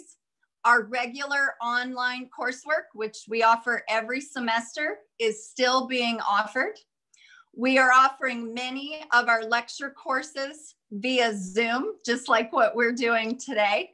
And we're offering our lab courses and welding courses and nursing clinicals, equine studies. We are offering them live.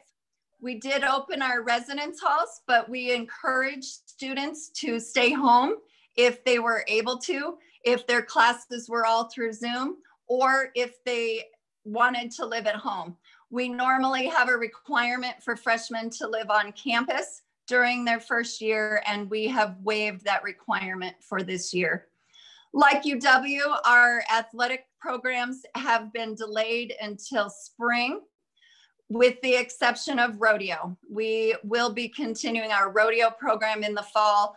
Our rodeo coach told me that rodeo is a contact sport, but it isn't so much um, person to person. So they have the protocols in place from the Cody Stampede from this summer, so we're fine. I am very pleased with how our opening has gone. It's well exceeded my expectations, but my team told me, yeah, but Stephanie, your expectations weren't very high. so we, have just done really well with this process. Our population is, is very small at Northwest College, and we are serving our students the best that we can. What we are planning to do, if we have an incident of cases that exceeds our capacity or the capacity of our healthcare system, we are planning to close rather than pause, much like we did in the spring. Since so many of our courses are offered via Zoom, we are able to do that. Hopefully, we would be able to leave our residence halls open so that students wouldn't have to transition their housing but then all of the coursework would be transitioned to Zoom or online. Like UW, all of the community colleges are planning to go online or via Zoom, so remote learning after Thanksgiving. With that, I, I will close by saying that the protocols in place that we have for cleaning has been a heavy lift. Staffing is challenging for cleaning staff uh, of what we need. But we know on campus that if we stay the course, we can stay open. And we're communicating to students over and over that they need to mask up and follow our on campus mask requirement, that they need to back up and maintain social distancing, that they need to wash up and maintain good hygiene and wash their hands frequently, and they need to check up by doing a daily health check every day to monitor their symptoms. Thank you, Mr. Chair. I'll now turn it back to Dr. Caldwell. Okay, thank you, President uh, Hicswa. Okay. Dr. Caldwell, go ahead. Mr. Chairman and members of the committee, I'm going to share my screen uh, because there's a, if I can, uh, if I can get this onto the website because I think this will help um, the approach and to help everyone see. So um, I, I, just want to start off with uh, recognizing that the impacts of COVID-19 and what this uh, does for our state is uh, is an impact for educational attainment and is certainly an impact for um, the economic vitality of the of the state. And that is something that's been talked about um, throughout uh, the country for the impact of this, particularly uh, around the concern for a gap year that students may be taking, which then has ripple effects to the economy. Um, I wanted to mention that because we do have um, the strategic plan for the uh, community college uh, system. Uh, and that'll actually, the draft of it's going to be public on Friday um, we'll have a feedback period for that. And I think that's really important because it uh, really highlights the impact of uh, post-secondary education and economic development uh, for the state of Wyoming. So uh, moving on to the CARES or to the COVID-19 and impacts for that. Uh, you heard from Superintendent Balow this morning, and then you heard from uh, Chief Shaner and um, Ms. Brandt that we did have an education task force uh, really talking about how to navigate the impacts of COVID-19 for the entire education system. We actually also had family services as a part of that. Um, and it was a very impactful um, uh, for the university. I believe that was Mr. or Dr. Theobald, and that was very impactful because it led us, it got us moving very, very quickly uh, to uh, respond. Beginning in April, uh, very beginning of April, I actually um, established a weekly uh, standing meeting with the president, along with the attorney general, particularly as the guidance was coming out from the US Treasury on the state funds. And that was so that we could identify what the issues uh, really were, the colleges, and, and the challenges around the impacts and how to respond. Uh, and it also helped us prepare and prep for uh, the CARES funds. Um, I, I, will share with you that publicly available on the commission website, we had updates in April, uh, June, and actually last week uh, for uh, COVID-19 and the CARES funds for the colleges. Um, some, I believe it was in the beginning of June, we also had a joint meeting with Dr. Harrist uh, and the Department of Health with the colleges and the university talking about uh, putting together the reopening plans for the institutions. So what I want to show you on this website right now, and I think you can all see this, uh, we did stand up a web page that combines the information for all seven of the community colleges uh, in one location so that it was easily accessible. Um, on this site is um, the protocol guidance, uh, but what I wanted to draw your attention to is that all seven of the um, community college reopening plans are on this website and we actually included a link to the university as well because we knew that individuals would be coming at all different, um, from all different points, wanting to know where to look. And we wanted to create an easy stop, uh, one-stop shop uh, for this.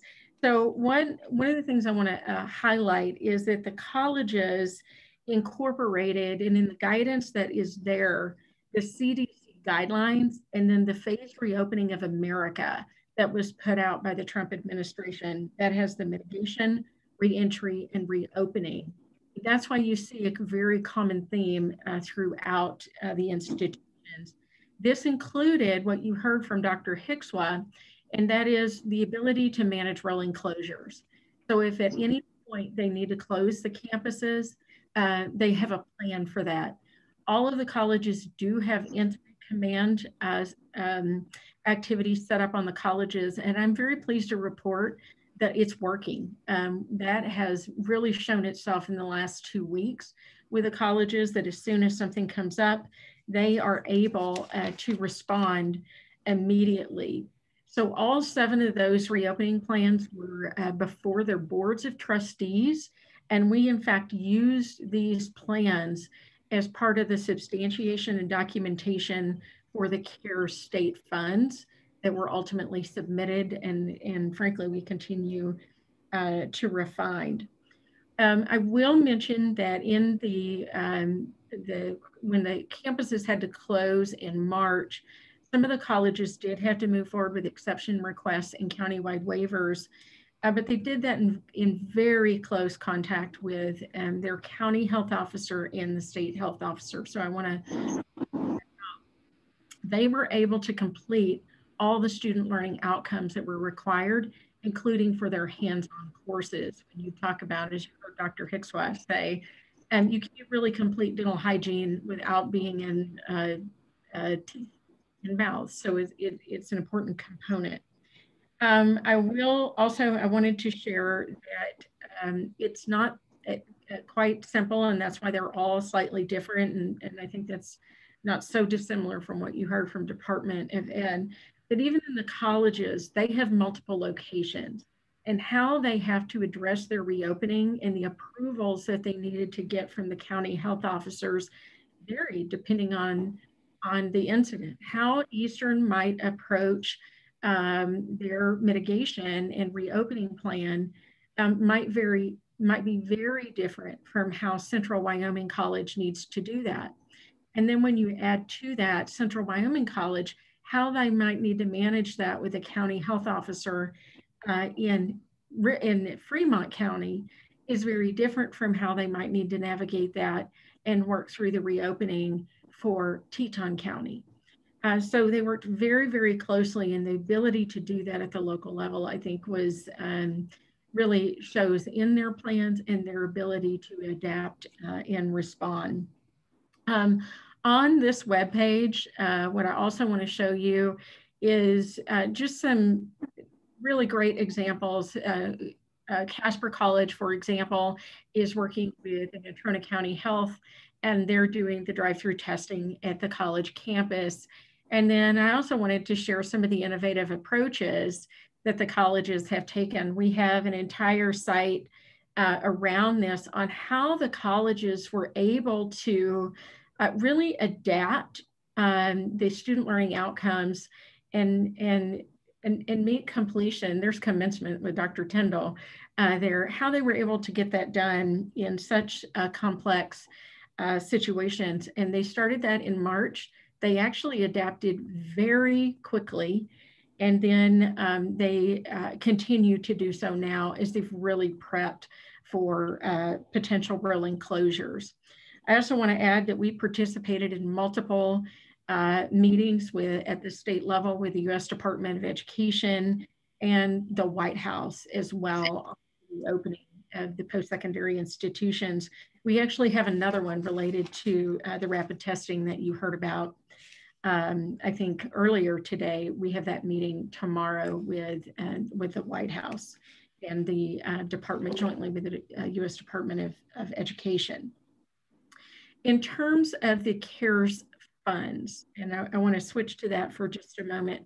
We talked about that a little bit in June um, in recognizing that there were some state funds uh, there were institutional funds, and then there were also the GEER funds that you heard uh, Ms. Brandt talk about. And we've actually provided that summary uh, to uh, LSO, what we initially reported, and then Mr. Buchholz is going to go through uh, the status of that right now, because I think that's very important for you to be aware of. Um, the GEERS, or excuse me, the CARES funds happened in uh, really three uh, components of funds, and we've talked about all of them today, but I wanted to be very clear on the three parts of that. There's the ed education stabilization funds of the CARES funds, which is separate from the state CARES funds. Those funds were separated uh, into the different components that you heard about today. You had the ESSER funds, you had the GEER funds, and you had the HEERF funds. So for the colleges, out of the ed education stabilization, there were two components that were important uh, to note, and that is the HEERF funds, the higher education uh, funds, and then the, uh, the GEER funds.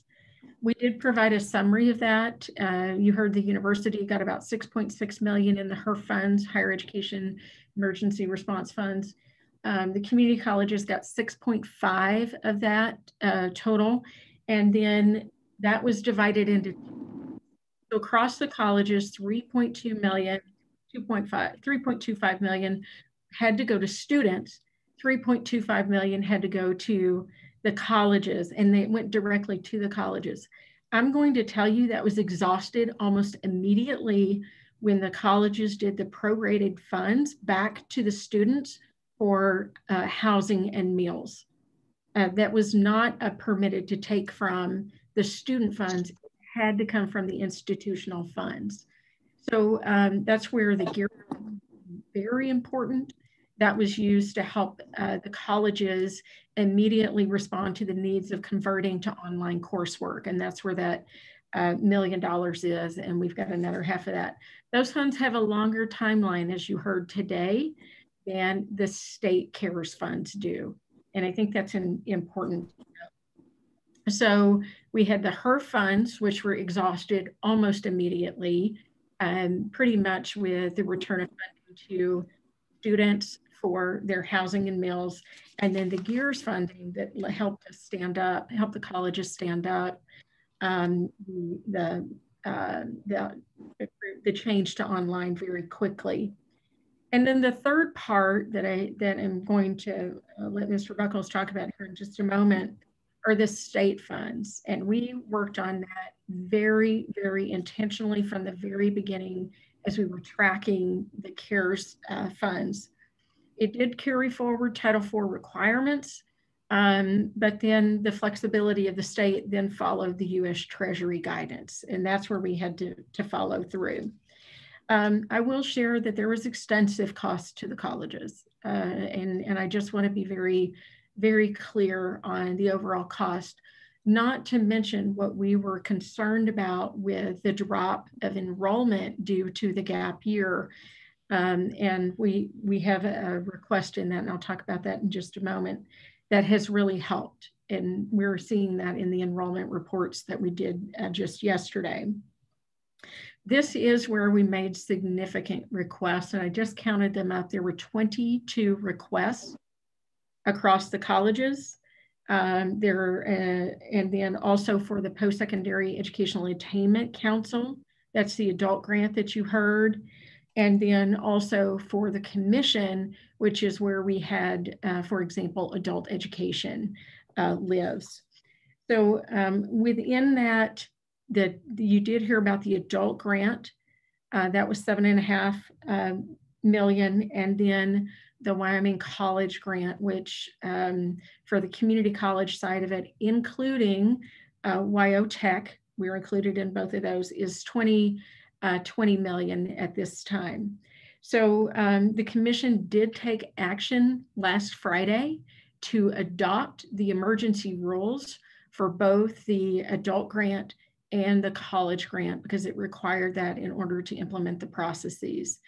Uh, so it, it's it, and I have some detail around that, but I want to let Mr. Buchholz go through that actual uh, document of the funding so that you can see that in front of you. And then I can share what we've already seen in terms of headcount, FTE, and the velocity of that enrollment due to the passage of those two big uh, grants. So if I may, Mr. Buchholz. Go ahead, Mr. Buchholz. Thank you, Dr. Caldwell. Thank you, Mr. Chair. Um, if I could get the LSO, Ms. Vaughn, to bring up 1401. Um, thank you very much. Um, what you have before here on this on this slide, or actually it's an Excel spreadsheet, um, is a little bit more granular detail of what you saw earlier in the afternoon from Ms. Brandt, um, and very similar to what you saw from Mr. Um, Keene um, at UW. Um, I'll just go down the list pretty quickly. Um, I, would, I will point out that the community colleges had the option to request CARES Act funding directly through the process, through the budget office. They could have all acted independently and quite frankly, it would have deluged the system. So we acted as a conduit at the Community College Commission to gather all of their requests and make it a cohesive request um, on their behalf. So we did that for the colleges. The top four um, priorities that you see are requests specifically put in by the Community College Commission. Um, number one there was from the commission itself. It was a tuition and fee waiver intended to allow students to retake the spring semester at no cost if they were um, unsatisfied with the outcome of um, their instruction or their grade um, as a result of transitioning everything to a virtual environment. Um, that, that request has not been approved. Um, we don't have that funding to um, offer that to students in the fall semester. And quite frankly, it's a little too late to act on it now. Um, the other three requests dealt with technology and um, adult education and the adult education centers that we administer um, through the adult ed program at the commission level. The next two priorities, EAEC number one and number two, um, dealt primarily with um, what was a $15 million request for dislocated, dislocated or displaced adult workers um, to come back and um, retool, retrain, um, add to their training. um, to, to supplement um, their employment opportunities. The decision was made um, so at some point during the process that we could only use this money for the fall semester. So that's why it's cut in half. Originally, our request was to cover the entire 2021 academic year. Um, but this money cannot be used, um, as you all know, past 30 December. So um, that request was cut in half. That $7.5 million, as Dr. Caldwell has already said, and uh, Ms. Brandt probably said, um, covers students attending the seven community colleges, UW and WyoTech. Um, so um, we're, we're, we're, the, we're running herd on that one and keeping track of, of what's been obligated and what's going out the door so that um, we don't exceed that allocation. So that's how that's all going along. The other request from the Educational Attainment Council was to do a gap analysis.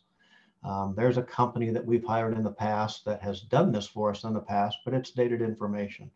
So we thought it was beneficial to do a gap analysis of the higher education system to show where there's a disconnect between industry needs and what regional or community colleges are delivering in the in terms of training um, to determine where things might be bolstered a little bit to um, address those needs in different communities. That that again just hasn't been um, hasn't been approved by the governor's office. The next series of requests, those 15 are 15 that we put in on behalf of the community colleges collectively. Um, each community college has input into each one of these priorities and part of the funding that has been allocated has gone to each one of them.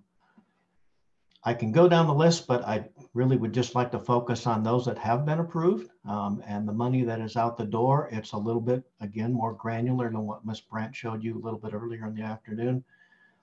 But we received funding through the CARES Act and through approval of both the governor's office and the attorney general's office.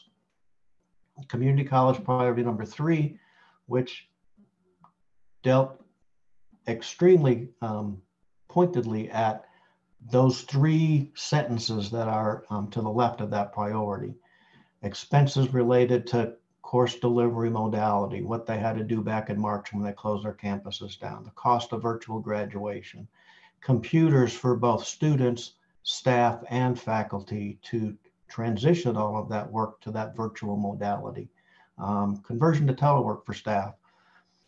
Uh, I mean, they really jumped through hoops when we shut campuses down, and and that $10.4 million is real expenses. Those are expenses that went out the door to be able to facilitate closing those campuses down as, as a result of the um, executive health orders we got all but thirteen thirteen thousand dollars of that. So um, that money really replenishes um, what the colleges, like I said, really had capital outlay for to make things happen. The next um, priority, number four, our original request, $10.154 million. During the time in between when we had to put these in the system, which was May the 15th, and when the governor's office actually acted on them, we continued to refine our numbers. Um, and the colleges continued to work to make sure that there was no expenses or no anticipated expenses that would be included in two of these different buckets. Well, as we did that work, there was about $300,000 that was included in multiple places within our request, resulting in us having to um, rework and, and decrease the amount we asked for in this bucket. And we got that. And that really all, um, again, deals with technology issues at the campuses and continuing to provide a conduit for faculty and student interaction in the remote learning environment, um, standing up hotspots across their community, not just on their campuses, um, to allow students to to access it, to um, you know, get an internet connection and to be be able to do their coursework um, on a laptop, um, which in a lot of cases the college has provided to those students and to faculty and to staff um, to facilitate everything that happened when we shut those campuses down. Priority number six, um, I, I will talk about this one. This one really has been supplemented. Um, we weren't able to do it as a lost revenue request because lost revenue is not eligible for CARES Act funding because the community colleges are pseudo, pseudo governmental entity, so it's not allowed. But just the fact that the governor approved the 20 million CARES Wyoming grant and the 7.5 million in the attainment uh, council's request for dislocated and displaced workers, adult workers, um, it's taken care of that. Um, the colleges are not realizing, and Dr. Caldwell will share this with you when I'm done, that they really didn't, they're really not experiencing the enrollment decrease in the fall semester that was anticipated. Um, so that request, it, it wasn't approved because it was a lost revenue request, but it's been mitigated by other funding sources. Um, wages attributed to COVID-19, community college number seven. I, as a change to this slide, I received word late yesterday afternoon that that $1.4 million was approved. Um, again, this is one of those requests that we continued to work on after the original submission date, and it resulted in a $2 million decrease in um, what the colleges were really asking for and what was eligible for reimbursement um, in the opinion of the Attorney General. So we're good there. Then there's a few that have not been approved, um, and primarily they have dealt with lost revenue um, or other expenses that just they just don't rise to the to the need. I think that um, um, the governor's office and the attorney general is looking at um, as an expense to come out of that 1.25 billion dollars. Then we get down to the CARES Wyoming College Grant Program. The slide says 25 million. You might remember Miss Brandt said it was 20 million with 5 million in reserve. That's what that 25 million dollars is. Um, that is meant to provide food and housing security for students attending the community colleges in WyoTech. Uh, that's its primary um, source of funding to do that for students. Um, and it and it has brought a lot of students back to campus, or should I say, it has caused a lot of students to enroll in the fall semester um, very late in the game, if you will. Um, and like I said, Dr. Caldwell will, will entertain that here in a minute. And then we had a request in for child care centers. Four of our college campuses have early learning her child's child care centers on their campuses. And there was a specific provision within Treasury guidance that allowed for child care centers to receive aid. And that aid was all distributed through family services. The colleges weren't part of that distribution, so we submitted it independent of um, what family services doled out to other private child care centers. Um, that one is approved by the governor's office. We're waiting for a determination on a final approval from the attorney general's office. And if we get that, we'll, we'll certainly send that out. Then there's a little section on the GEER fund. Um, I think you've heard enough about it. Um, that was the allocation for that money. And like uh, Ms. Brandt said, it went to the seven community colleges and the Carbon County Higher, Higher Education Center at, um, in Rawlins and then adult education, a, a division of the Community College Commission received 29,000 specifically used to address technology needs at the adult education deliveries.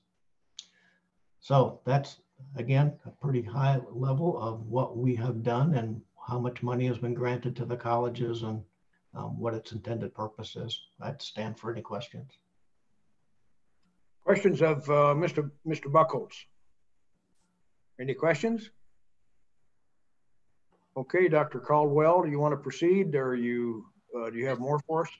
Yes, sir, Mr. Uh, Chairman, I do, and members of the committee. I know we've gone very fast. We're watching the clock uh, because you had laid down that you thought we might get out early, and I want to help you with that. But I, I do want to share uh, a little bit about the enrollment. Now, this is this is not final enrollment. Um, and I, the question had come up is if we put this kind of funding in place, uh, uh, through the adult grant and through the college uh, grant, will it in fact do what, what we were hoping it would do? We have not closed the gap on enrollment, but it has certainly uh, diminished. And we did see a very specific impact related to these grants uh, that that is telling us that that it has it is working. It is having an impact. There will be more. The colleges have a backlog right now. The, the financial aid offices are working incredibly uh, fast and a lot of overtime to try to get these in. But let me give you a snapshot from when we last reported to Wyoming's Tomorrow on July 31st to yesterday with, with head count, FTE, and velocity, because that was a specific question we got. Enrollment always increases getting closer to the semester, particularly for community colleges. But did that, did the pace of that over time increase? And the answer is yes, uh, definitely related to this funding. So uh, in mid-July, I will be very honest, we had some of the colleges that were down in excess of 20% and at 30%. It was pretty, at pretty high level at that July 9th um, Wyoming's Tomorrow. July 31st, that had uh, dropped to, there was still a 16% deficit in headcount and a 17% deficit in, in FTE, which meant the students who were there were not taking as many classes. As of yesterday, that had narrowed down to an only an 8%. So we've closed that gap by 8%. Uh, for headcount, we're down 8%, but FTE is down 7%. So now what we're seeing is they are taking more uh, credits. And we are hearing directly from the students that it did have to do with costs, that their families are impacted by um, an income loss related to uh, COVID 19. Uh, a few things that I think are really helpful to illustrate this is I'm going to throw out Casper College as an example. Their headcount enrollment was down 11%, uh, and now they have no decrease. And that's really significant. And they're actually up on FTE. Western over in Rock Springs, um, very large service area, they were down in headcount 19%. They are now up 2%. That's a, that's a 21% uh, delta. What really is telling is the velocity of the change from last year to this year. So was it the funding that triggered this? And, and I'm going to tell you yes, um, and it is statistically significant and that in 2019, that velocity going into the semester was 27%. It is now at 36%. And that means the rate of individuals enrolling coming into the, that semester after that funding was announced definitely had an impact uh, from, from uh, 731 to 831. So we'll track that again in, in the next couple of weeks. Significant notables, Casper College, they went from a 16% velocity to a 38%. Western, not surprisingly, since they, their delta was 22% on enrollment, they went from a 29% to a 67% velocity. Definitely an, an impact to both of these uh, sets of funds. And so it, just knowing that that uh, that implementation very quickly had um, a, a an impact on students' lives around the kitchen table uh, in, in our homes across the state is something uh, to note. So with that, um, I, I, would ha be happy to stand for any questions. I know it is five o'clock and I'm gonna end it right now.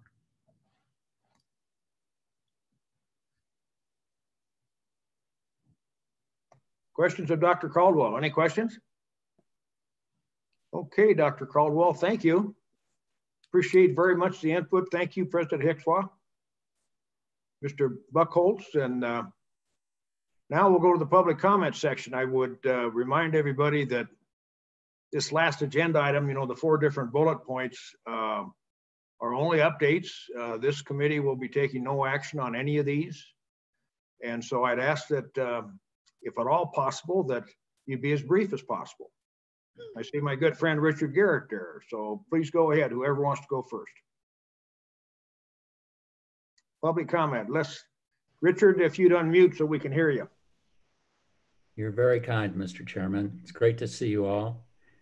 Um, and I am going to try to be brief. I'll pare my 30 minutes of remarks down to about 30 seconds.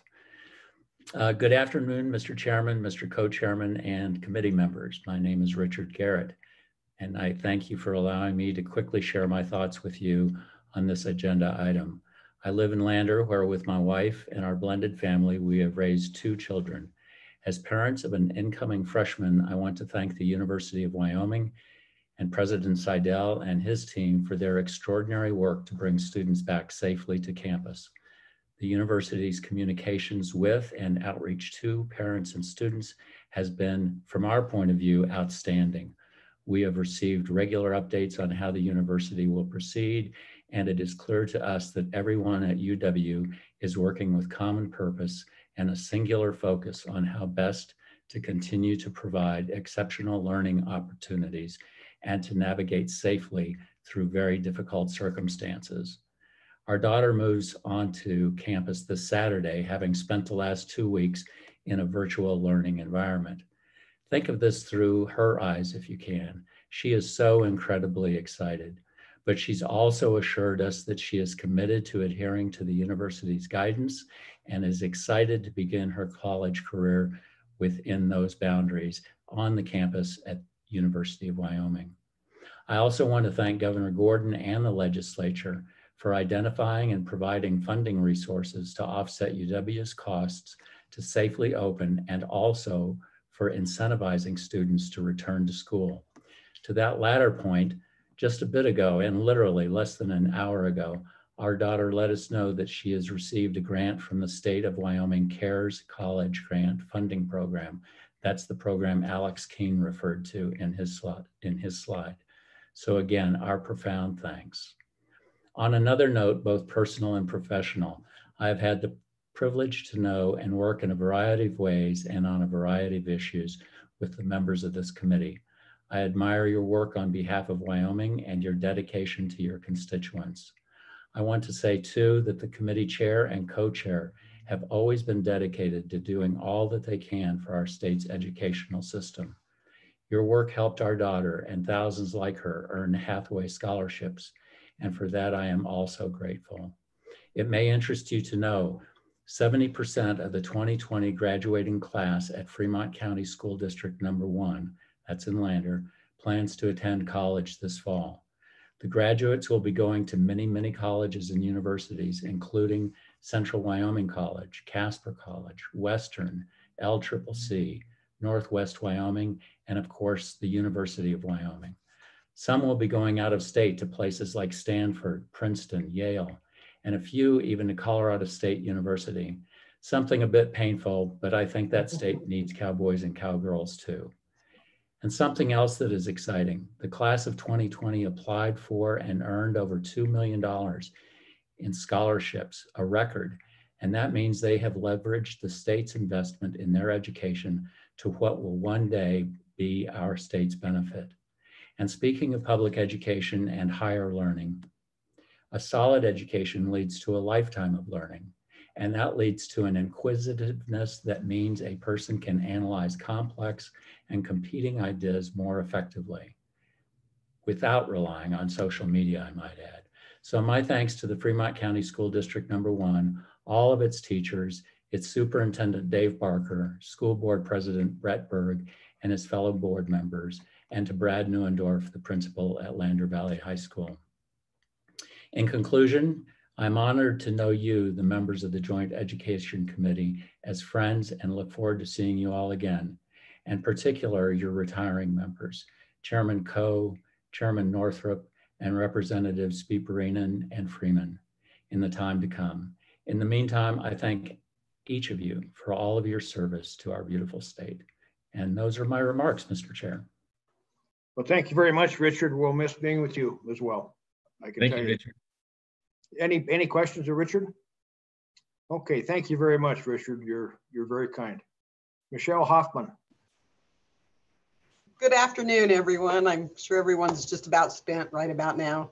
Thank you for allowing me a few minutes of your time today to share with you some of the things it has taken for my school district to open a closed tier. Um, my name is Michelle Hoffman, and I'm the interim, again, superintendent at Fremont County School District 14, Wyoming Indian Schools, uh, located in the heart of the Wind River Indian Reservation.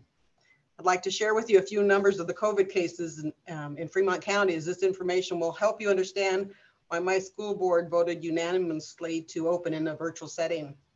As of Wednesday, yesterday, there have been 536 confirmed cases of COVID and 69 probable cases in Fremont County. The number of deaths due to COVID has been 14. Over three fourths of our students live in either a household which consists of grandparents or elderly relatives, or they are being raised by their grandparents.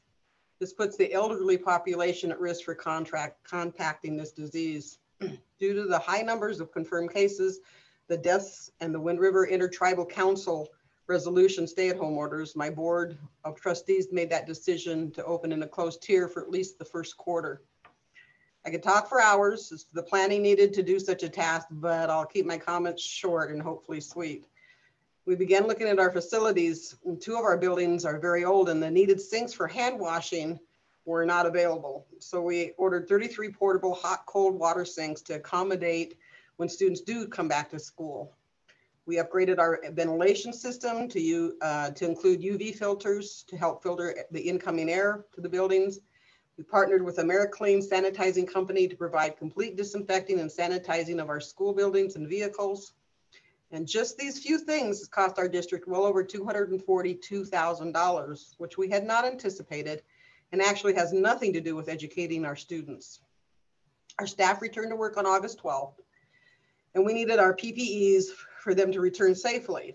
Our district purchased face masks, shields, hand sanitizers, and thermometers so they could return. We certainly appreciate the state purchasing PPE for districts. However, the timing receiving this equipment didn't match with when our staff returned.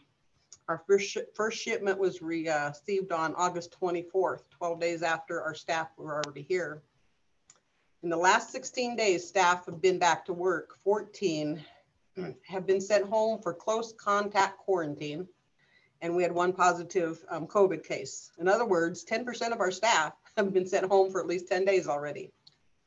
Technology is another item we had to deal with. 95% of our students do not have access to the internet or Wi-Fi, and in order to do a virtual education, we needed to address this right away. Our district has purchased uh, hotspots with the governor's technology monies available, but probably won't be able to access that money for our Chromebooks. The shortage in the United States has put the availability of these products out three to four months. And if we don't have the products in our hands as of December 30th, we lose the availability to use these federal funds.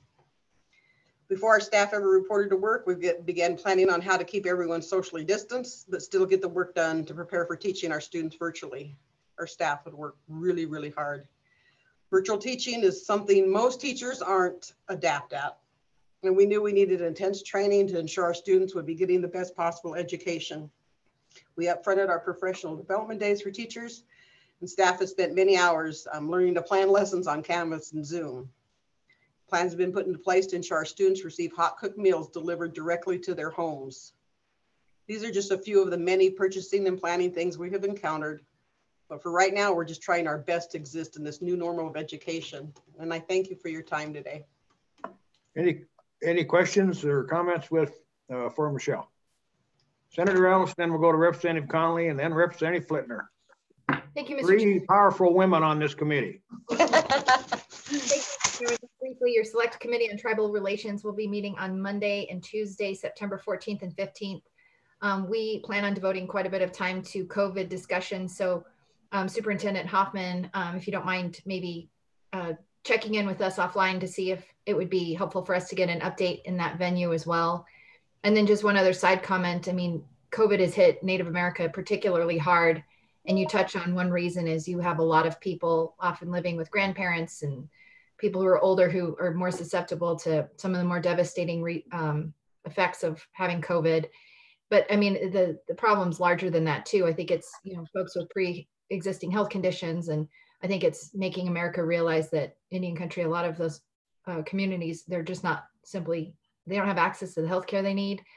And it's an intergenerational problem when you start living these unhealthy lifestyles. So um, I just want to thank you for presenting today, but um, also just so you are aware that uh, we're going to also be looking at this too um, later on this month.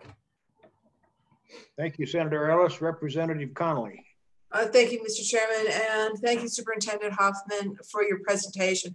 Honestly, it was pretty stark and compelling, um, the numbers that you were giving us and the, the realities that you're working with with your students. Um, earlier today, we heard a presentation from the Department of Ed, and in particular with some of their, what they're calling egress money. And uh, one of my concerns was that only 1% of that money has been pushed out to the, the districts at this point. And I'm just curious if you're getting the support that you need in order to access the funds that have been made available to the state through the feds. And if not, what is it that you could use help from us so that you can get access to that funding? Mr. Co-Chair. Michelle, um, go ahead. Um, Representative Connolly, um, yeah, we have a very small staff. And um, as I said, I'm the interim. I came in on J- July 1st and we're scrambling to, as you heard earlier, Title One um, um, plans are due, consolidated grants plans are due. Uh, we do have our plan put together. Um, unfortunately, we've had some deaths in the um, my um, staff community, and so they have been out. Um, we plan on starting school with our kids on Tuesday and Wednesday. We're going to be applying for that money. So um, it is we've we've uh, have our plans together. We just haven't gotten there. It's just been really really overwhelming. It's not that it's uh, not an important thing. It is an important thing, but we are not going to let that opportunity go by. I guarantee you that. Okay, Representative Flitner. Mr. Chairman, thank you. And I just wanted to thank Superintendent Hoffman for her presentation. I've connected uh, with one of my schools and I know how very stressed our educators are and our administrators and what they have to deal with pales in comparison with what you all are dealing with there. And so I just want to encourage you and your staff and your team and um, everybody involved, families, children, and um, I just hope you'll keep us posted. And if there's any way we can do anything for you to try to, you know, waive some of the requirements or do, I don't know. I just feel like your situation, this situation is so unusual, but yours is highly unusual. And my heart goes out to you. And I just mm-hmm. encourage you all to keep up your very good work. Thank you. Thank you, Representative Flitner. Any other questions or comments for Michelle Hoffman? Michelle, thank you very much. Thank you. Um, anybody else in the waiting room? Do we have any other testimony, public testimony? Okay, it's, uh, I gotta tell you, it's 5.15 exactly. And I can tell you, I got it done right on time, as always. Maybe I'd, I'd been happier being a little bit early, but Matt, let's talk about uh, uh, next steps. And I know we don't have a meeting till November, uh, but uh, Matt, go ahead. Yeah, uh, thank you, Mr. Chairman. Uh, the, the, next meeting for this committee is uh, tentatively scheduled for November 17th and 18th. Uh, we have a few directives uh, that we'll work with uh, the chairman and, and, some other members of the committee to, to proceed. I won't go through them right now, um, but also this committee, as Representative Connolly indicated, is also able to attend the select committee on school finance recalibration on uh, Tuesday, Wednesday, September 8th and 9th. Uh, there is no salary for members, but they are allowed to claim per diem. Uh, so that's one of the, the distinctions with, with that. So um, with that, Mr. Chairman, I don't have any anything else. Anybody else have anything else for the good of the order? Representing Paxton. Thank you. Just a couple of comments, Mr. Chairman. Um, some of us uh, are not as fortunate as, uh, or maybe unfortunate, uh, is uh, 65 kids short of what they were last year. And uh, they attribute a lot of those to people who have elected to do online classes other than the ones that are offered by the school district themselves. And so that's a point of concern. I have two daughters that are both teachers, one in Arizona teaching second grade virtually and another teaching kindergarten here in Encampment. I can tell you that we're very fortunate to have the dedicated people in the educational community here in Wyoming that have done such a great job of allowing our kids to have uh, in in school uh, instruction, even though there's a lot of, of problems with that, um, especially in the, my, my uh, daughter teaches kindergarten here and uh, the mask thing is a real issue with them. You know, you got uh, nasal discharges and vomiting in the mask and the masks break and the masks get lost and following the protocol is time consuming and that takes away from instructional time and we all have to recognize that. So i'm not sure how long this the the, the uh, uh, we have to adhere to these protocols but i i'm telling you that it does have there is a toll on the on the uh, academic side as well as the as the uh, economic side of this thing. So um, i also think that uh, we might want to start thinking ahead a little bit about I believe there's going to be quite a few people opt to take early retirement out of this thing, not just teachers, but probably other staff members. If you think about the pressure put on custodians, bus drivers, and other folks related to this uh, pandemic, um, I think we better start thinking a little bit about what we're going to do about filling some of those those vacancies that are inevitable. Well, thank you. Very good comments, Representative Paxton. Representative Freeman.